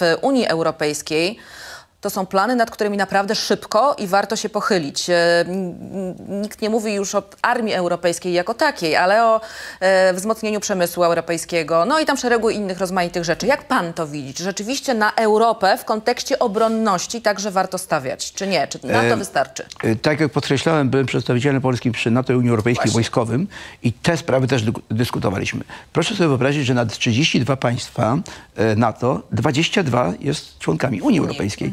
Czyli my, podatnicy, musielibyśmy płacić podwójnie, tak? Nie. Unia Europejska musi być komplementarna i jej e, projekty do tego, co robi NATO. Komplementarność polega na uzupełnieniu tych możliwości, których NATO nie ma, tych miękkich, ale i również tych twardych, na przykład przemysł obronny. W Europie mamy około e, 12 typów czołgów podstawowych w ogóle. A czemu nie możemy mieć dwóch albo trzech? Jest korporacja niemiecko-francuska produkcji e, czołgu przyszłości. E, mamy samolot A. 350 produkowany przez Airbusa, który używa państw natowskich. Mamy Eurofightera. Może te wspólne projekty i one komplementarnie uzupełniałyby zdolności. Zdolności w ochronie cyberprzestrzeni. Bardzo duże ma, ma Unia Europejska. Zdolności w produkcji amunicji, linii amunicyjnych, takie zakłady jak Rhein, Rheinmetall, Finmechanika, Airbus i tak dalej. I te 100 miliardów z tego funduszu obronnego, który po raz pierwszy Unia Europejska przeznaczyła na wsparcie Ukrainy, nie tylko, właśnie z tego możemy te projekty e, realizować. Mamy tak zwaną EDE, e, Europejską Agencję Obrony, European Defense Agency. I tam są również te projekty. I ta komplementarność wzmacnia naszą tożsamość obronną europejską. Tak to widzę. E, To jeszcze, jeśli pan pozwoli, namówię pana trochę na wspominki, no bo bardzo ważna rocznica wczoraj, 25 lat e, Polski w NATO. E, Gdybym pana zapytała o stan polskiego wojska w 12 marca 99 roku i 12 marca 2024, to powie mi pan coś więcej niż lata świetlne? E, no pani to nie pamięta, pani była za młoda. E, Bardzo mi miło, ale pamiętam niestety już. mieliśmy tą armię, która liczyła 250 tysięcy żołnierzy, tak naprawdę. Mieliśmy dużo pustych struktur, mieliśmy mnóstwo sprzętu, którego nie wykorzystywaliśmy tak naprawdę. Mieliśmy armię z poboru. E, Ja pamiętam ten, ten czas, 99, myśmy się przekształ- przekształcali, bo to nie było tak, żeśmy od razu 12 marca wchodzili. Myśmy rozpoczęli od 94 roku i tutaj chcę podkreślić taką zdecydowaną wolę polityczną wszystkich elit, czy to była opozycja, czy koalicja, ona była bardzo kolorowa zresztą wtedy, żebyśmy jednak szukali naszego miejsca w systemie bezpieczeństwa zachodnioeuropejskim. E, Rozpoczęliśmy program Partnerstwa dla Pokoju, reorganizowaliśmy nasze siły zbrojne, e, uczyliśmy co, co to jest nadzór cywilny nad siłami zbrojnymi, e, demokratyzacja, systemy zabezpieczenia, systemy logistyczne, wsparcie, łączność, planowanie obronne. No i rozpoczęliśmy z szeregiem ćwiczeń, a takim wymianem tego było w 98 roku wysłaliśmy w 97 nasz batalion do Bośni i Hercegowiny w składzie IFOR-u, czyli misji natowskiej, a ja w 98 zostałem dowódcą Brygady Nordycko-Polskiej jako pierwszy polski generał, który dowodził żołnierzami NATO, Duńczykami, Norwegami, Szwedami i Finami, to wtedy państwa neutralne i Amerykanami. I, I tak powiem szczerze, że to była duża płynność, ale duża zmiana była w mentalności myślenia naszych oficerów, tych młodszych i tych starszych również. Ja mówię starszych stopniem, ja już byłem wtedy generałem brygady w 1999 roku. E, Wcześniej posyłaliśmy żołnierzy na szkolenia do Stanów Zjednoczonych, do Wielkiej Brytanii, na kursy e, języka angielskiego. Interoperacyjność no to język, procedury, plug and in, czyli dołączenie tego wszystkiego. Chociaż muszę powiedzieć, że czasami rozmawiamy ze sobą i nie rozumiemy się. Do tej pory. nie, nie, nie chodzi o angielski, nawet między sobą, kiedy rozmawiamy.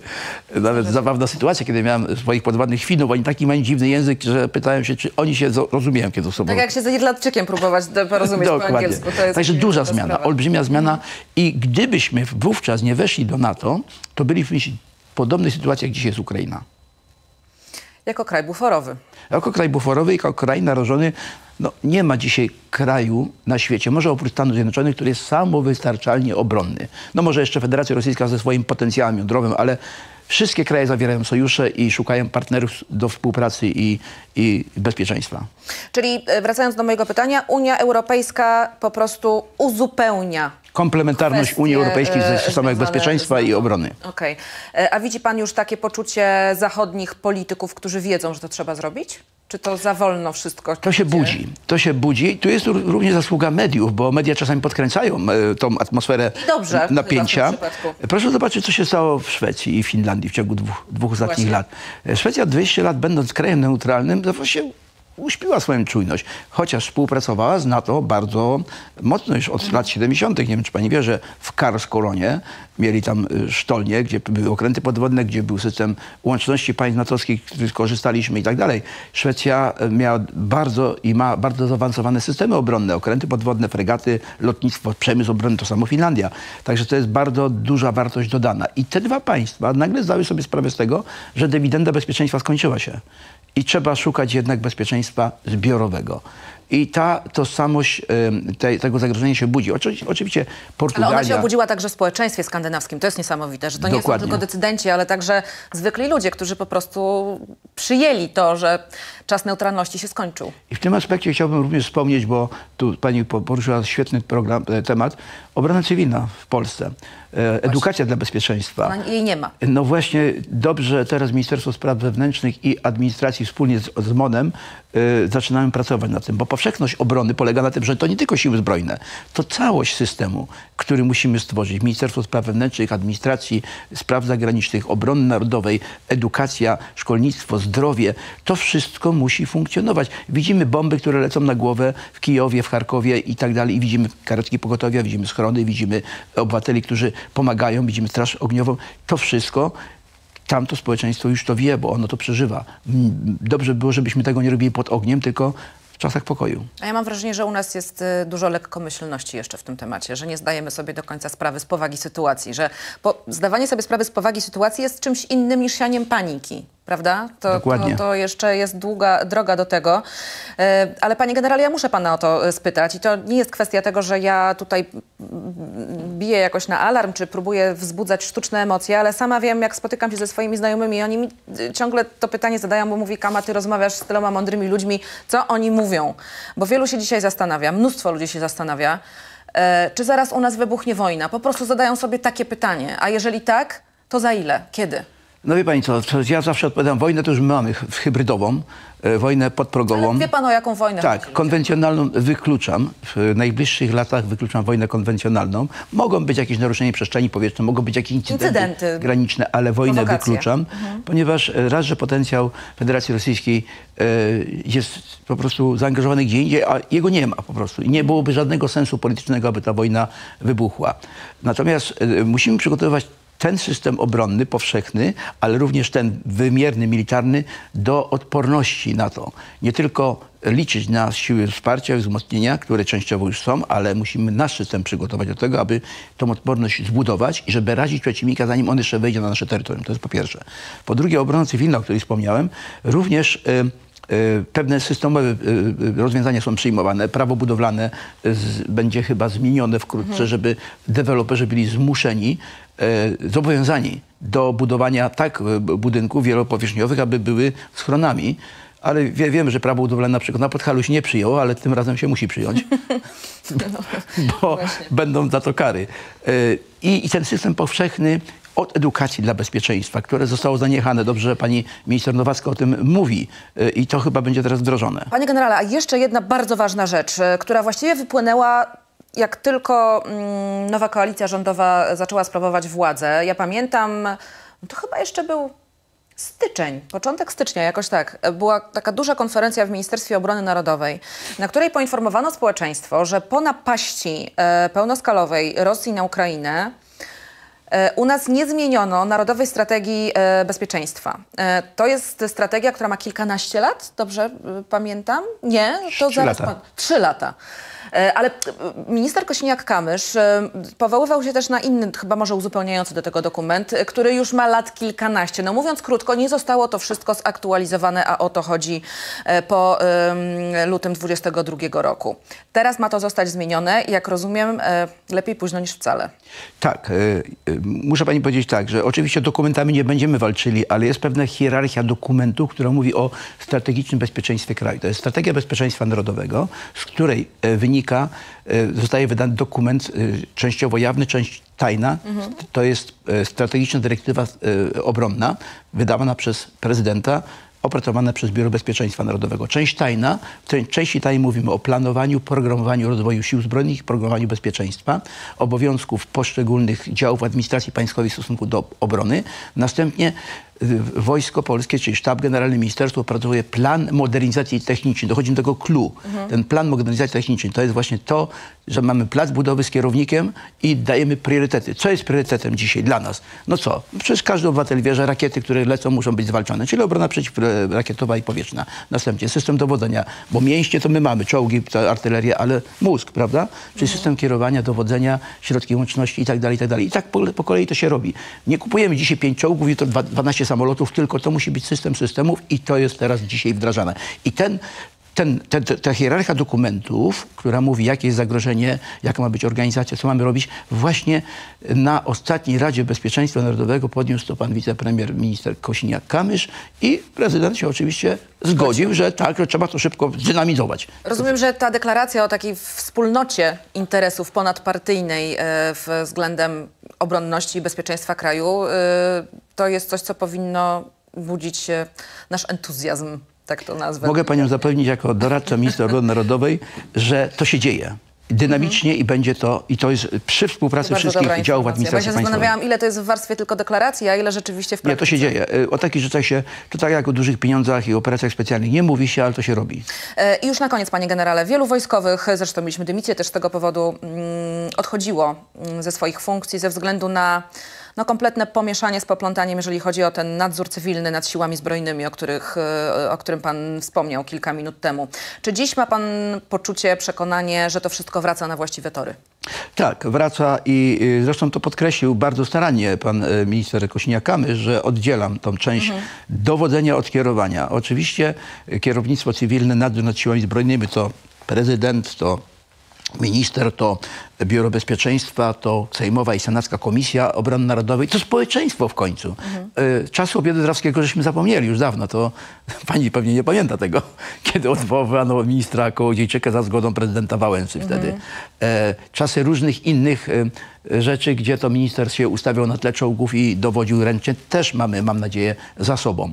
Zresztą doskonały przykład był szefa sztabu generalnego Australii, który podszedł, zresztą mojego przyjaciela, podszedł do ministra i powiedział mu, panie ministrze, teraz jest część polityczna, zabieram swoich dowódców.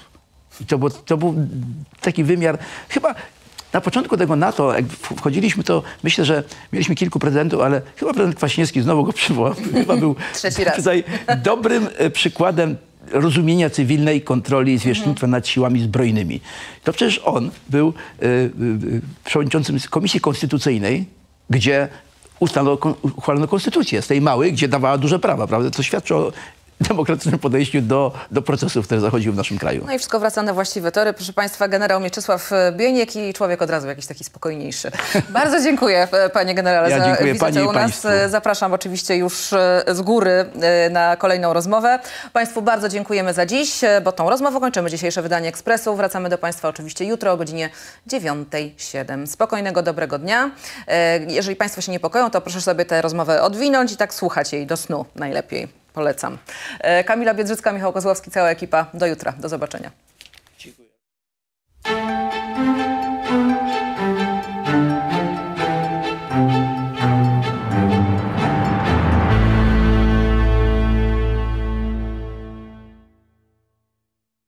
To, co było dla mnie ważne, y, w jakim sensie to był główny cel mojej wizyty, to potwierdzenie jednoznaczne, że Ameryka nigdy nie zawaha się y, przynie, przyjść z pomocą Polsce, jeśli kiedykolwiek Polska będzie zaatakowana. I że artykuł 5 y, traktatu waszyngtońskiego jest niepodważalny.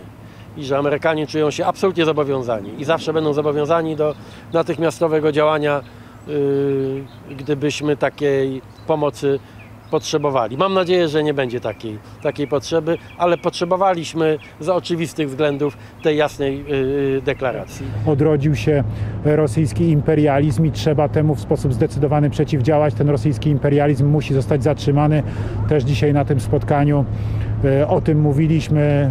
Podziękowaliśmy panu prezydentowi Joe Bidenowi za to niezwykłe zaproszenie tutaj do, do Waszyngtonu, do Białego Domu, jako mm, nie tylko reprezentacji polskiej, ale jako śmiało można powiedzieć, biorąc pod uwagę tą 25. rocznicę przyjęcia nie tylko przecież Polski, ale także i, e, i Czech, e, także i Węgier do NATO, jako, jako reprezentantów tych trzech krajów, jako reprezentantów naszej części Europy, tej Europy, która odzyskała pełną wolność, pełną e, suwerenność, niepodległość po 1989 roku.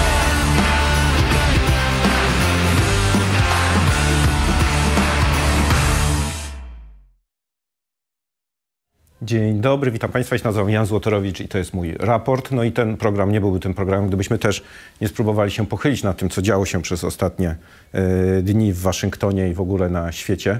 Ciężko będzie cokolwiek dodać do tego, co już wcześniej u Kamili mówili prezydent Kwaśniewski, generał e, Bieniek, ale w mojej ocenie na mój, a wszystkim Państwa dzisiejszy gość akurat spodoła temu zadaniu bez problemu. Doktor Wojciech Lorenz, ekspert do spraw bezpieczeństwa, Polski Instytut Spraw Międzynarodowych. Dzień dobry. Dzień dobry.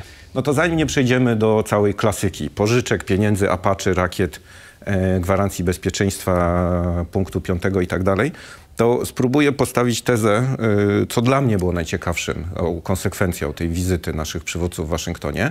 I dla mnie najbardziej intrygujący jest ten y, nagły, nieplanowany zlot piątkowy Trójkąta Weimarskiego, który trochę wygląda tak, jakby Donald Tusk wezwał e, prezydenta Macrona i kanclerza Scholza, żeby im przekazać, co w Waszyngtonie usłyszał od prezydenta Bidena. To jest bardzo ciekawe. E, rzeczywiście z problemem e, takim się borykaliśmy do tej pory, jeśli chodzi o Trójkąt Weimarski, że to nie było równorzędne partnerstwo. Raczej najczęściej, jak już nasi przywódcy brali udział w spotkaniach e, w tym formacie, to Niemcy i Francja wcześniej były już dogadane co do głównych kwestii i Polska w zasadzie no, była tylko miała do wyboru albo to zaakceptować i poprzez udział w tym formacie niejako żyrować francuską i niemiecką politykę, no albo e, właśnie e, demonstrować niezadowolenie, niezgodę i to się wiązało z różnymi kosztami politycznymi. E, I od wielu lat przecież mówi się o tym, że nie ma pomysłu na trójkąt weimarski, a tutaj widać, że można, Polska może jako równorzędny, chociaż wiadomo, pamiętając o tej różnicy potencjałów i wpływów, ale jednak jest powód do tego, żeby zwołać ten Y, ten szczyt, to spotkanie, żeby zakomunikować y, naszym sojusznikom, co w, w Stanach Zjednoczonych się działo, co usłyszeliśmy od najwyższych rangą urzędników amerykańskich, jednocześnie pokazać się jako państwo, które po tym okresie wyborczym, gdzie ewidentnie to przywództwo Polski siłą rzeczy osłabło, było mniej widoczne, znowu wraca w roli takiego państwa, które chce E, odgrywać rolę e, przywódcy, rolę państwa wywierającego presję na innych, e, żeby mobilizować nie tylko się do dalszej dostosowywania się do zagrożenia ze strony Rosji, ale przede wszystkim mobilizować się we wsparciu dla Ukrainy. Więc bardzo takie dobre zagranie, bo jeszcze też, jak wspomniałem o tym, że przed tymi szczytami Trójkąta Weimarskiego najczęściej się odbywały te konsultacje francusko-niemieckie, to zwołanie takiego szczytu w trybie pilnym nie daje też Francuzom i Niemcom czasu, a wiemy, że są między nimi podziały, jeśli chodzi o podejście do wsparcia dla Ukrainy. Francuzi są o wiele e, bardziej, chociaż skala wsparcia francuskiego jest dużo mniejsza, to jednak Francuzi są gotowi wspierać tak, zwaną, tak zwane aktywne odstraszanie. Dostarczają jednak e, pociski dalekiego zasięgu e, Scalp, te, których odpowiednikiem są brytyjskie Storm Shadow. Niemcy nie chcą przekroczyć tej linii, odmawiają przekazania E, pocisków Taurus, e, więc tutaj są pewne różnice w podejściu. Francja zmieniła swoje stanowisko, jeśli chodzi o przyjęcie Ukrainy do NATO.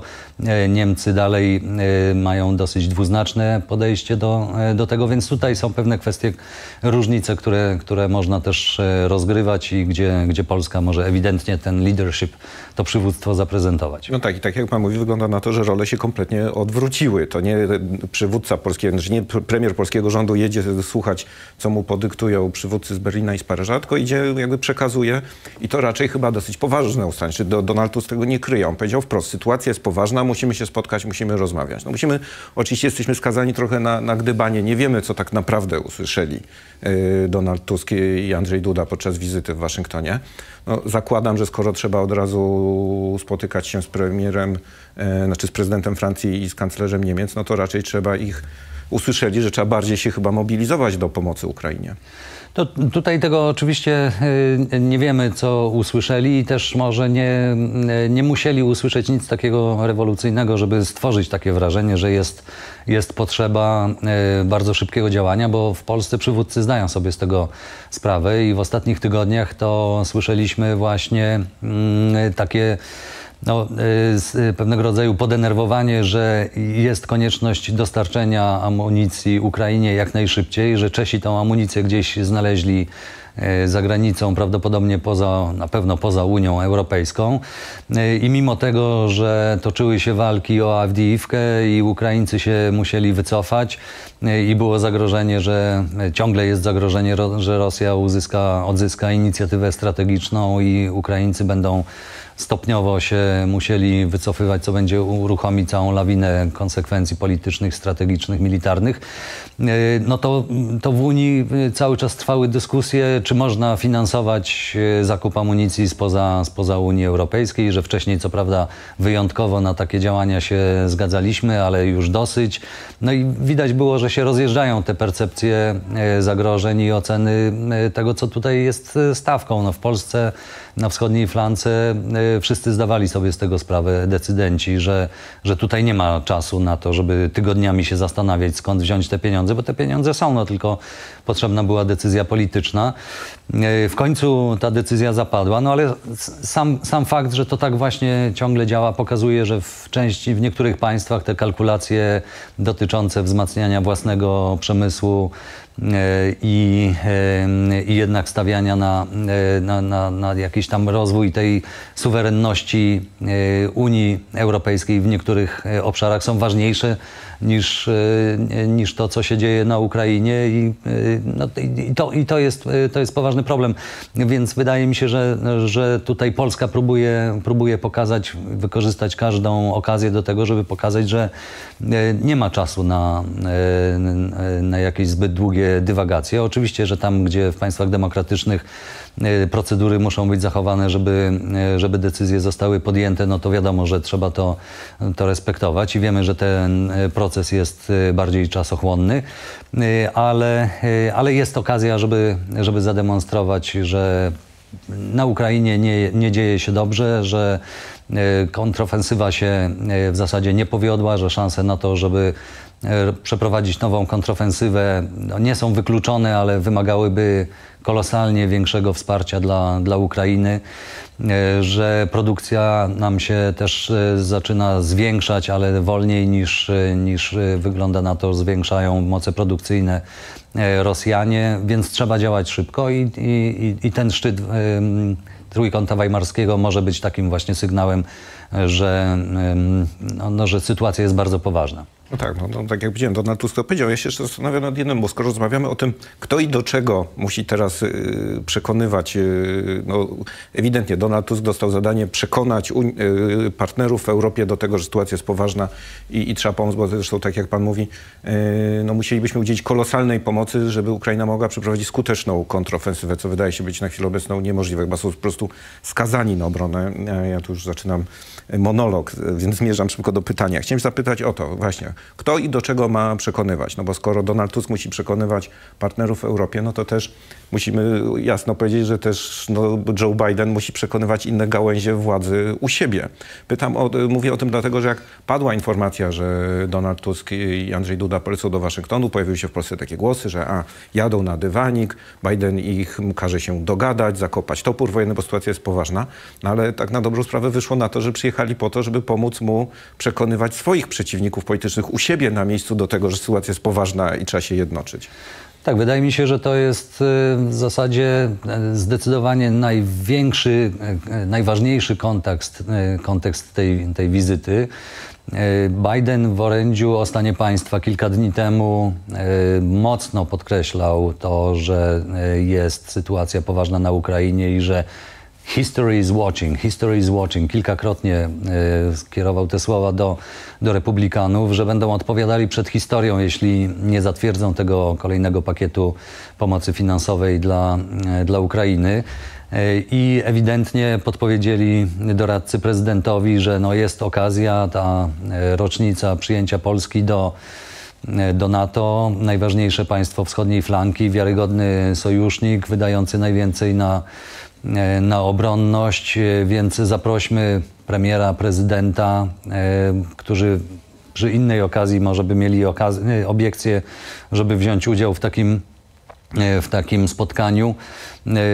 Zbudujmy w, w oparciu o tą rocznicę przyjęcia Polski, rozszerzenia NATO, taką platformę do właśnie wywarcia presji na republikanów.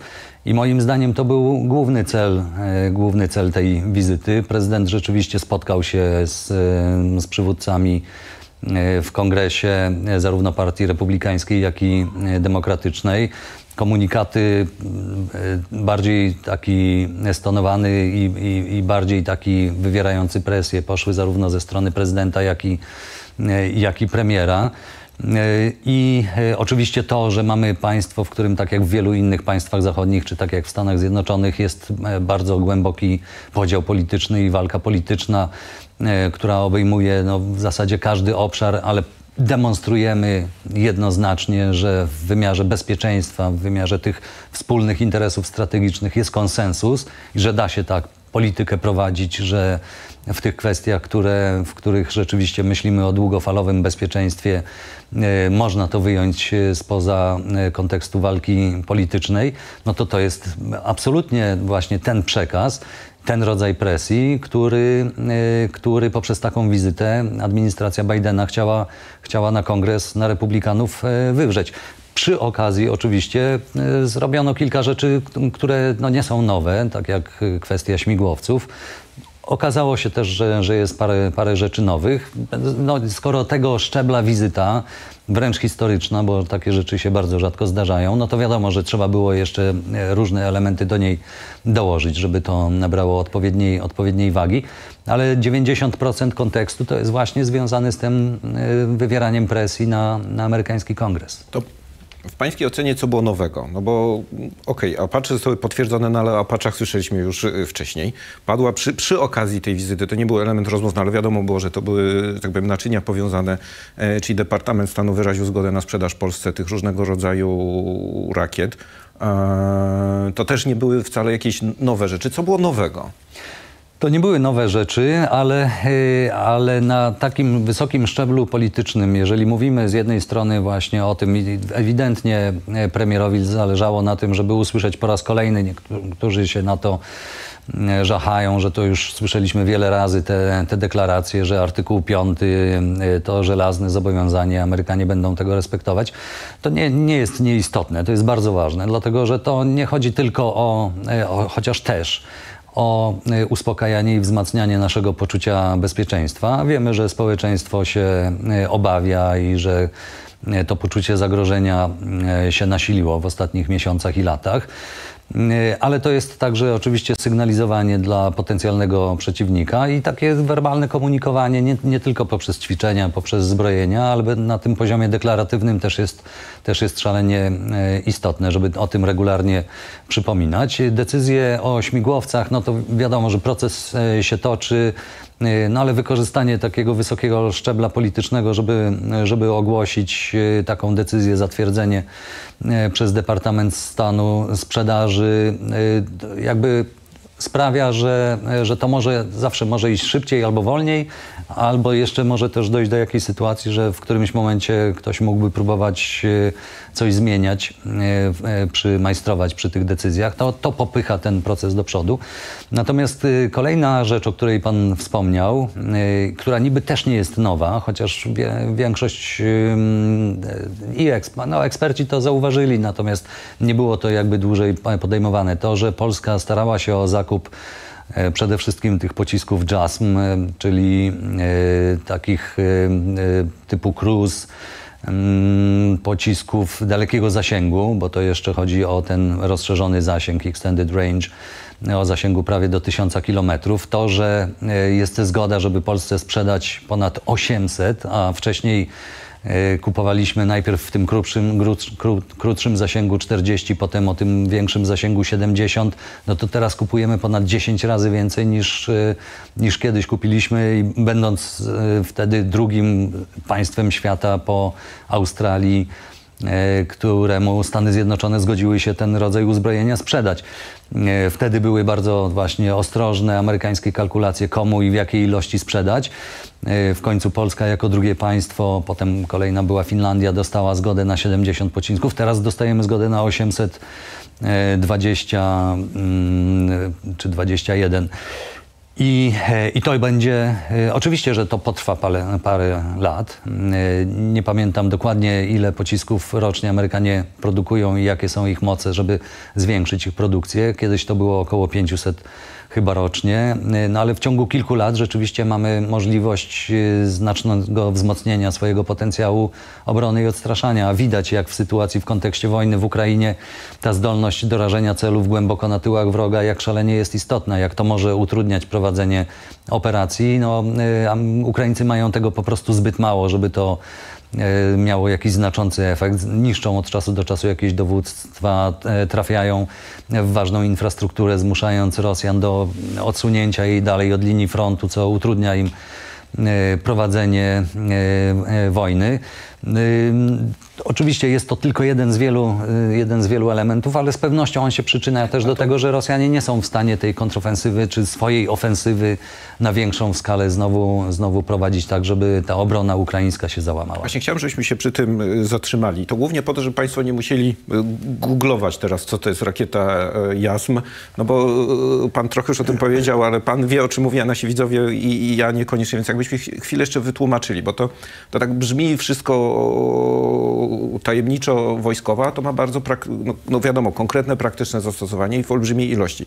800 rakiet bardzo dalekiego zasięgu, typu powietrze-ziemia, które można i do już F-16 zamontować, a w przyszłości będzie można też na e, F-35. Jakby, co więcej może Pan nam opowiedzieć o tych rakietach? No to, to jest ten sam typ, e, podobny typ e, rakiety do tych, które Ukraina dostaje od Wielkiej Brytanii i Francji, czyli e, w wersji brytyjskiej Storm Shadow, we francuskiej Scalp.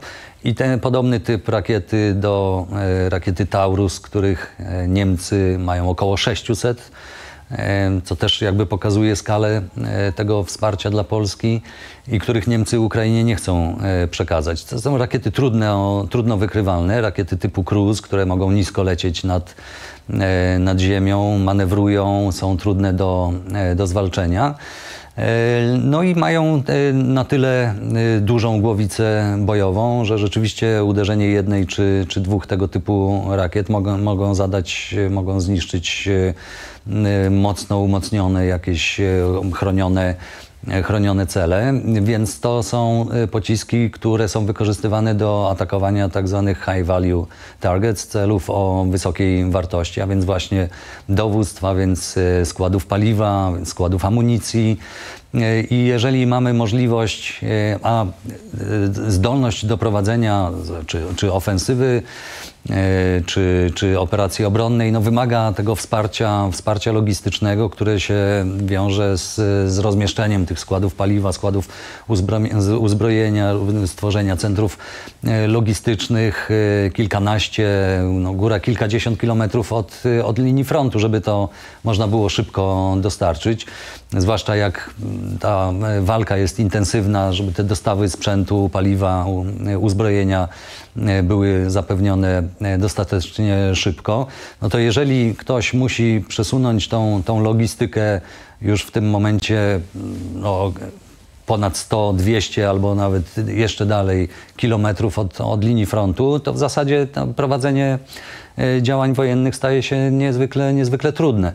E, Więc przy tej ilości, e, przy tej ilości pocisków e, mielibyśmy, mielibyśmy możliwość bardzo poważnego utrudnienia mm, prowadzenia działań wojennych. I tutaj oczywiście też wchodzimy na ten obszar, którego najczęściej publicznie nie chcemy dyskutować, bo on jest później też wykorzy- wykorzystywany do, do celów propagandowych. No, przez Rosję jest wykorzystywany do tego, że y, jak ktoś mówi o atakowaniu celów na terytorium Rosji czy Białorusi, a że przygotowujecie się do agresji, więc lepiej my zaatakujemy wcześniej w samoobronie.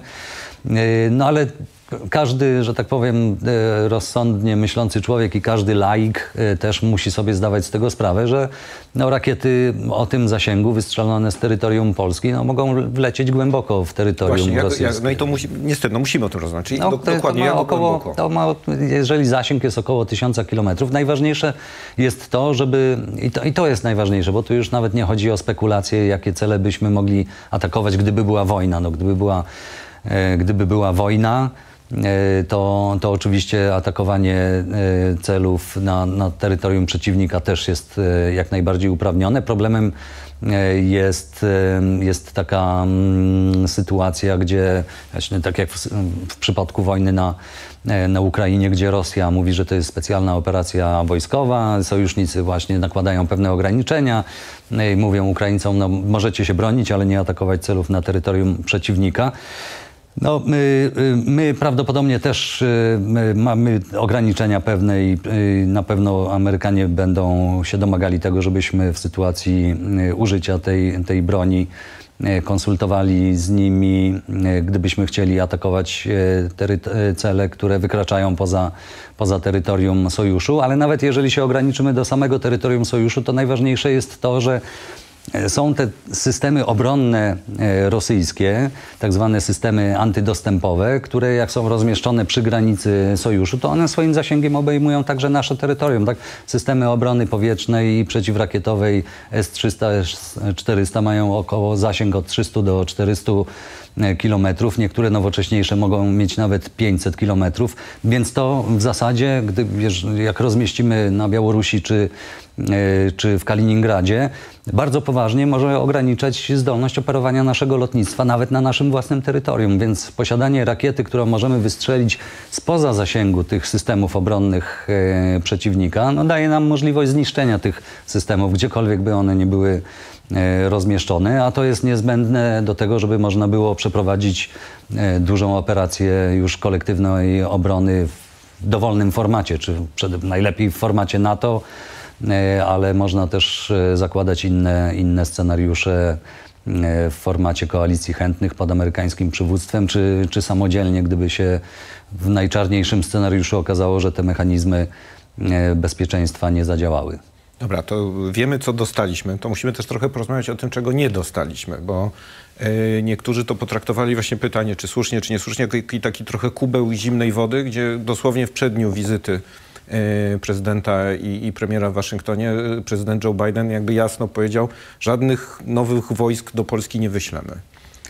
No to jest ta kwestia, um, oczywiście e, Polska miała ten, tą politykę, konsekwentnie ją realizowała od początku swojego członkostwa w NATO. To jest e, jakby charakterystyczny rys naszej polityki w sojuszu. Przede wszystkim bronić w czasach, kiedy jeszcze to zagrożenie ze strony Rosji E, się nie zmaterializowało e, tak wyraźnie, bronić tych mechanizmów kolektywnej obrony, żeby sojusz w tym wymiarze takim traktatowym i, i, i, tych różnych rozwiązań, które wzmacniają wiarygodność gwarancji bezpieczeństwa w artykule 5, bo to też trzeba uspokoić. To, to, się bardzo często pojawia w wielu wypowiedziach różnych ekspertów, że, że ten artykuł 5 on jest tak ogólnikowo zapisany, że przecież można użyć dowolnego rodzaju E, reakcje e, wykorzystać w, w odpowiedzi na, e, na agresję.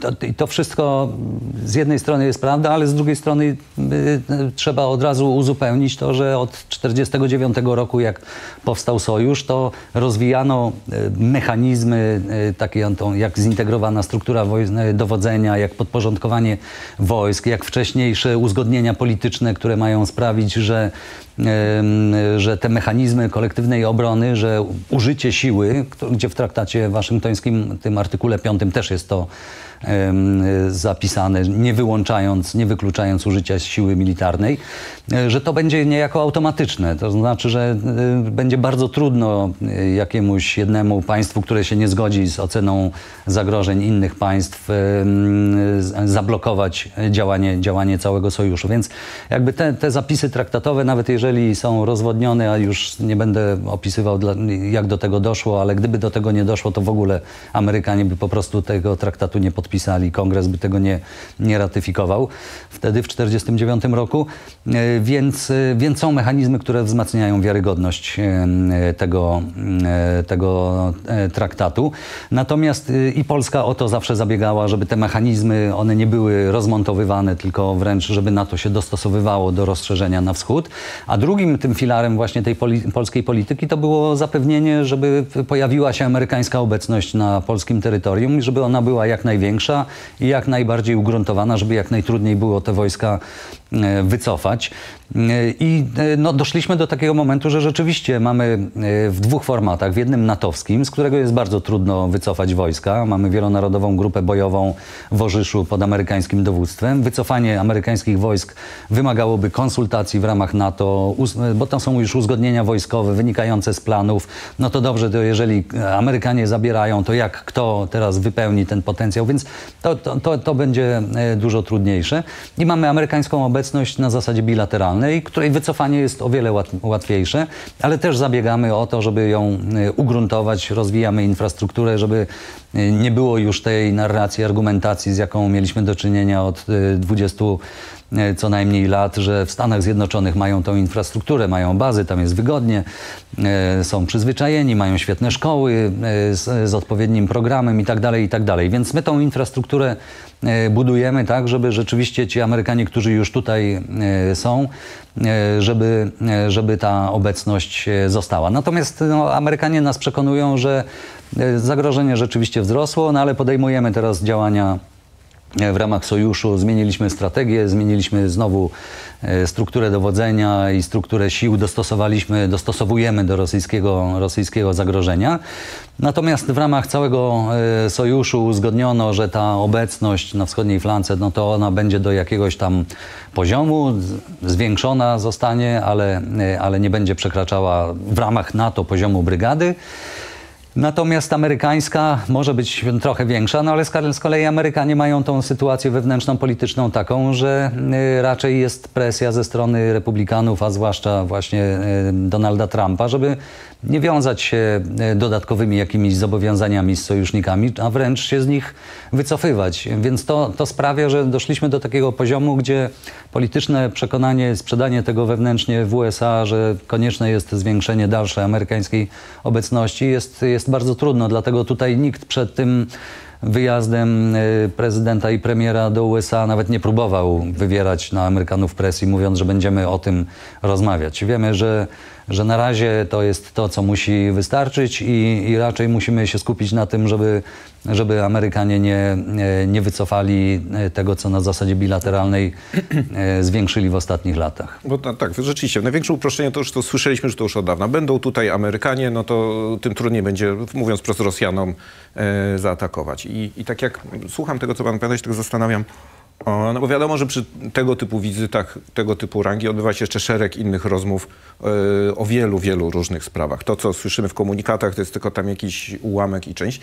I tak jak się zastanawiamy, w jaki sposób jeszcze zwiększyć nasze gwarancje bezpieczeństwa, to zastanawiam się, czy jest szansa, że gdzieś tam na jakimś etapie rozmawiano o amerykańskiej inwestycji w atom w Polsce, e, przy na przykład takim założeniu, że właśnie amerykańska inwestycja w elektrownię atomową w Polsce, o czym przecież to, rozmawia się już od dłuższego czasu, też byłaby jakąś gwarancją bezpieczeństwa. No mają tu swój biznes, mają tu swoją inwestycję, no to będą chcieli ją chronić.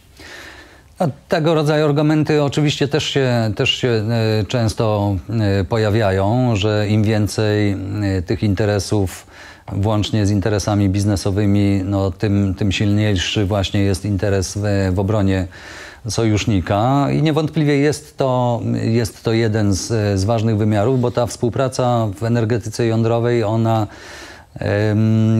ma kolosalne konsekwencje. To znaczy na wielu, to, to obejmuje tyle, tyle obszarów, dziesiątki, jeśli nie, nie setki różnych obszarów współpracy i rzeczywiście to już, to już jest bardzo, bardzo poważna współpraca między dwoma państwami. Dlatego z takim zawsze no, sceptycyzmem tutaj nasi eksperci patrzyli na do pewnego momentu próbę balansowania Finlandii chociażby swoich jej relacji z Rosją poprzez też współpracę w energetyce jądrowej, z której ostatecznie w ostatnich latach Finowie się, się wycofali. No ale mamy, mamy kilka państw, które, które tą współpracę kontynuują i, i, no i tam to po, połączenie jeszcze, pogłębienie tego sojuszu polsko-amerykańskiego w, w oparciu o tą współpracę nuklearną byłoby rzeczywiście kolejną taką grupą interesów, o których Pan mówi, gdzie, gdzie można by jasno wyliczyć decydentowi, dlaczego w interesie Stanów Zjednoczonych jest niedopuszczenie do tego, żeby wojna się toczyła na, na polskim terytorium. O tym, o tym na pewno rozmawiano i tutaj wydaje mi się, że tutaj nie ma żadnych jakichś kontrowersji specjalnych, że chyba obie strony tą współpracę chcą, chcą rozwijać. Natomiast no, wydaje mi się, że to był tylko taki dodatek. No, w związku z tym, że specjalnych kontrowersji nie ma, to można było to jeszcze do programu wizyty dołączyć, ale, ale nie sądzę, żeby były tu potrzebne jakieś decyzje na najwyższym szczeblu politycznym, żeby tą współpracę, żeby gdzieś tam jakiś opór trzeba było przełamywać. No tu no musimy jeszcze dodać do naszych rozważań jeden element bardzo niepokojący. Znaczy na ile to wszystko, o czym teraz rozmawiamy, e, może, że tak powiem, wylecieć przez okno w listopadzie po wyborach prezydenckich w Ameryce? I to jest oczywiście ten y, czynnik ryzyka, z którym zawsze trzeba się liczyć. Zawsze, no w każdej sytuacji zakładamy mm, jakieś ryzyka. No tutaj w, przypadku zmiany politycznej w Stanach Zjednoczonych ono jest dodatkowo jeszcze zwiększone przez tą pewną nie, nieobliczalność Trumpa, no bo jednak w, w polityce jest tak, że rozumiemy to, że pewne rzeczy w czasie kampanii się komunikuje inaczej dla własnego elektoratu, inaczej na zewnątrz. Czasem coś, co jest sformułowane dla własnego elektoratu, źle brzmi na zewnątrz, no ale rozumiemy ten kontekst polityczny i, i staramy się też analizować, na ile pewne zobowiązania poczynione w czasie kampanii, na ile faktycznie mm, ograniczą możliwość działania później w sytuacji, gdy dany polityk będzie już y, u władzy. Często to jest tak, że no, gdzieś tam ogranicza, ale zdaje sobie sprawę z tego, jaki jest ten nadrzędny interes e, państwa i udaje mu się pogodzić politykowi to, że jakieś słowa wypowiedział i się z nich nie będzie wycofywał, ale ma możliwość podejmowania dalej takich, takich działań, mimo to które nie będą zagrażały interesom strategicznym państwa. To tak najogólniej mówiąc. Natomiast w przypadku Trumpa no nie, ma tej, nie ma tej pewności, czy on rozumie jakiś interes strategiczny. E, raczej można podejrzewać, że, że nie, niekoniecznie. E, w związku z czym e, no, trzeba zakładać wszystkie scenariusze, nawet z tym najczarniejszym, chociaż Mm, po drodze są jeszcze inne, że może podejmować działania, które podważą wiarygodność sojuszu, ale, ale nie podejmie decyzji o wycofaniu USA z NATO aż po, po, po wyjście z sojuszu. Niektórzy mówią, że oczywiście jest to niemożliwe, czy jest to niemożliwe, bo kongres ostatnio przyjął takie specjalne ustawy, które mają to uniemożliwić czy utrudnić. One mogą to utrudnić, no ale y, w samych Stanach Zjednoczonych jest spór, czy rzeczywiście by to uniemożliwiło, więc też nie można wykluczyć nawet tego czarnego scenariusza. Natomiast dla Polski już rozważając nawet najczarniejszy scenariusz, bo, y, bo o tym też trzeba dyskutować, dla Polski, gdyby doszło do, do, do takiej sytuacji i dla wielu innych państw w Europie, nie tylko wschodniej flanki, ale jest wiele państw takich jak Wielka Brytania, Dania chociażby, też Norwegia, no po prostu będą starały się rozwijać współpracę bilateralną. To znaczy nie będzie dla nich alternatywą unijna e, obrona, bo po prostu w Unii Europejskiej nie ma tego potencjału i nie ma tego przywództwa. No, tego przywództwa w sytuacji, zwłaszcza jeśli mówimy o groźbie wojny z mocarstwem nuklearnym e, z Rosją, no Niemcy nie zapewnią tego przywództwa, bo już widzimy, jak kalkulują ryzyko w sytuacji wojny w Ukrainie. Francuzi starają się teraz wzmocnić swoją wiarygodność, no ale jest taka różnica potencjału, jest ich specyficzne podejście do odstraszania nuklearnego. Włożyli ogromną ilość kapitału politycznego w przekonywanie wszystkich do tego, że e, odstraszanie nuklearne dotyczy tylko tego państwa, które dysponuje e, nuklearnym potencjałem, więc mogliby nam zaoferować coś na wzmacnianie naszego poczucia bezpieczeństwa, żebyśmy w czasie wojny e, nie dali się zastraszyć i, i dzielnie, dzielnie walczyli, ale to by była zupełnie inna kategoria odstraszania niż to, co nawet Brytyjczycy mają do, do zaoferowania. Krótko mówiąc, y, i, i to też nawiązuje do tego, o czym mówił generał Bieniak, że tak, że z Unią Europejską trzeba roz, w ramach Unii budować jak najwięcej i rozwijać ten potencjał, no ale ona nie stanowi wiarygodnej alternatywy dla relacji ze Stanami Zjednoczonymi. Więc nawet gdyby doszło do rozpadu NATO, już tak przerysowując, zarysowując grubą kreską, wycofania Stanów Zjednoczonych z sojuszu, to, y, to po prostu będziemy starali się do tego dostosować poprzez rozwijanie bilateralnej. Nie, nie zamkną baz w Wielkiej Brytanii, w Niemczech, w Włoszech, mogą zmniejszać swoją obecność, mogą to wykorzystywać na potrzeby wewnętrzne, polityczne, czy do wywierania presji na, na partnerów, na, na sojuszników, ale po prostu potrzebują tych, e, tych baz do tego, żeby e, można było pełnić, mogły odgrywać rolę globalnego mocarstwa, a nie stać się drugorzędnym państwem, takim jakimś regionalnym mocarstwem. No to, to byłby koniec tych Stanów Zjednoczonych, jakie, jakie znamy i wydaje mi się, że dla najbardziej szalonego w politycznej retoryce polityka amerykańskiego, posługującego najbardziej skrajnymi izolacjonistycznymi hasłami, no jest to, jest to oczywiste. I to by oczywiście dawało platformę do, do, do rozwijania dalej tej współpracy, tak żeby to odstraszanie wobec Rosji też było, też było zagwarantowane. Więc y, to oczywiście byłaby mm, bardzo poważna, dramatyczna wręcz zmiana. Nie ma co tego bagatelizować. No ale też y, jakby uspokajam, że, że mentalnie, jakby analitycznie jesteśmy na to, na to przygotowani. No tak i wracając do początku naszej rozmowy, też fakt, że teraz to Donald Tusk jedzie przekazywać przywódcom z Francji i Niemiec, co ustalił w Ameryce, jakby pokazuje, że mamy do, dobrą pozycję do tego, żeby w razie tego czarnego scenariusza dwustronne relacje dalej bardzo bliskie z Ameryką utrzymywać. Oczywiście, że tak. Y, to jest, y, to jest dokładnie, mm, no, na tym polega ta gra, o której się mówi na wielu fortepianach. Y, jedne państwa to robią lepiej, inne, inne gorzej. Mm, my akurat tradycyjnie staramy się głośniej grać na tym fortepianie natowsko-amerykańskim. Ale, ale tutaj też jest korzyść w tym, żeby mm, bardziej był słyszalny ten, ten fortepian unijny. I e, e, nasz interes, tak już najbardziej obrazowo mówiąc, wracając do tego, co powiedziałem o tym, że unijna obrona, zdolność do prowadzenia wojny z Rosją i odstraszania Rosji no nie jest wiarygodną alternatywą, bo jednak rosyjskie kalkulacje opierają, opierają się przede wszystkim na tym, czy Amerykanie są w tym sojuszu, czy uwikłany zostanie E, potencjał militarny, e, polityczny i gospodarczy Stanów Zjednoczonych, czy nie. Jeżeli nie, no to to w zasadzie pozamiatane. No, można rozgrywać, wiadomo, że, że wobec rosyjskich gruźb i gotowości do pójścia na wojnę, nawet wojnę nuklearną, co jakby sygnalizują e, większość państw bez tego wsparcia amerykańskiego by na którymś momencie uznała, że nie ma sensu, nie ma sensu się, się bić i trzeba negocjować. E, ale, e, ale jest wiele obszarów, gdzie bez wątpienia Unia Europejska może zrobić więcej, robi więcej i, i, i gdzie trzeba to zapewnić też niezbędne, niezbędne przywództwo. E, żeby wykorzystać lepiej ten e, potencjał unijny, właśnie jeśli chodzi o moce chociażby produkcyjne, ale także o zdolność do e, prowadzenia działań poza terytorium sojuszu. Jak nie chcemy wysyłać sił natowskich, jakiejś operacji natowskiej na Morze Czerwone, no to wyślijmy w ramach Unii Europejskiej. To właśnie zostało kilka tygodni temu zrobione, ogłoszone.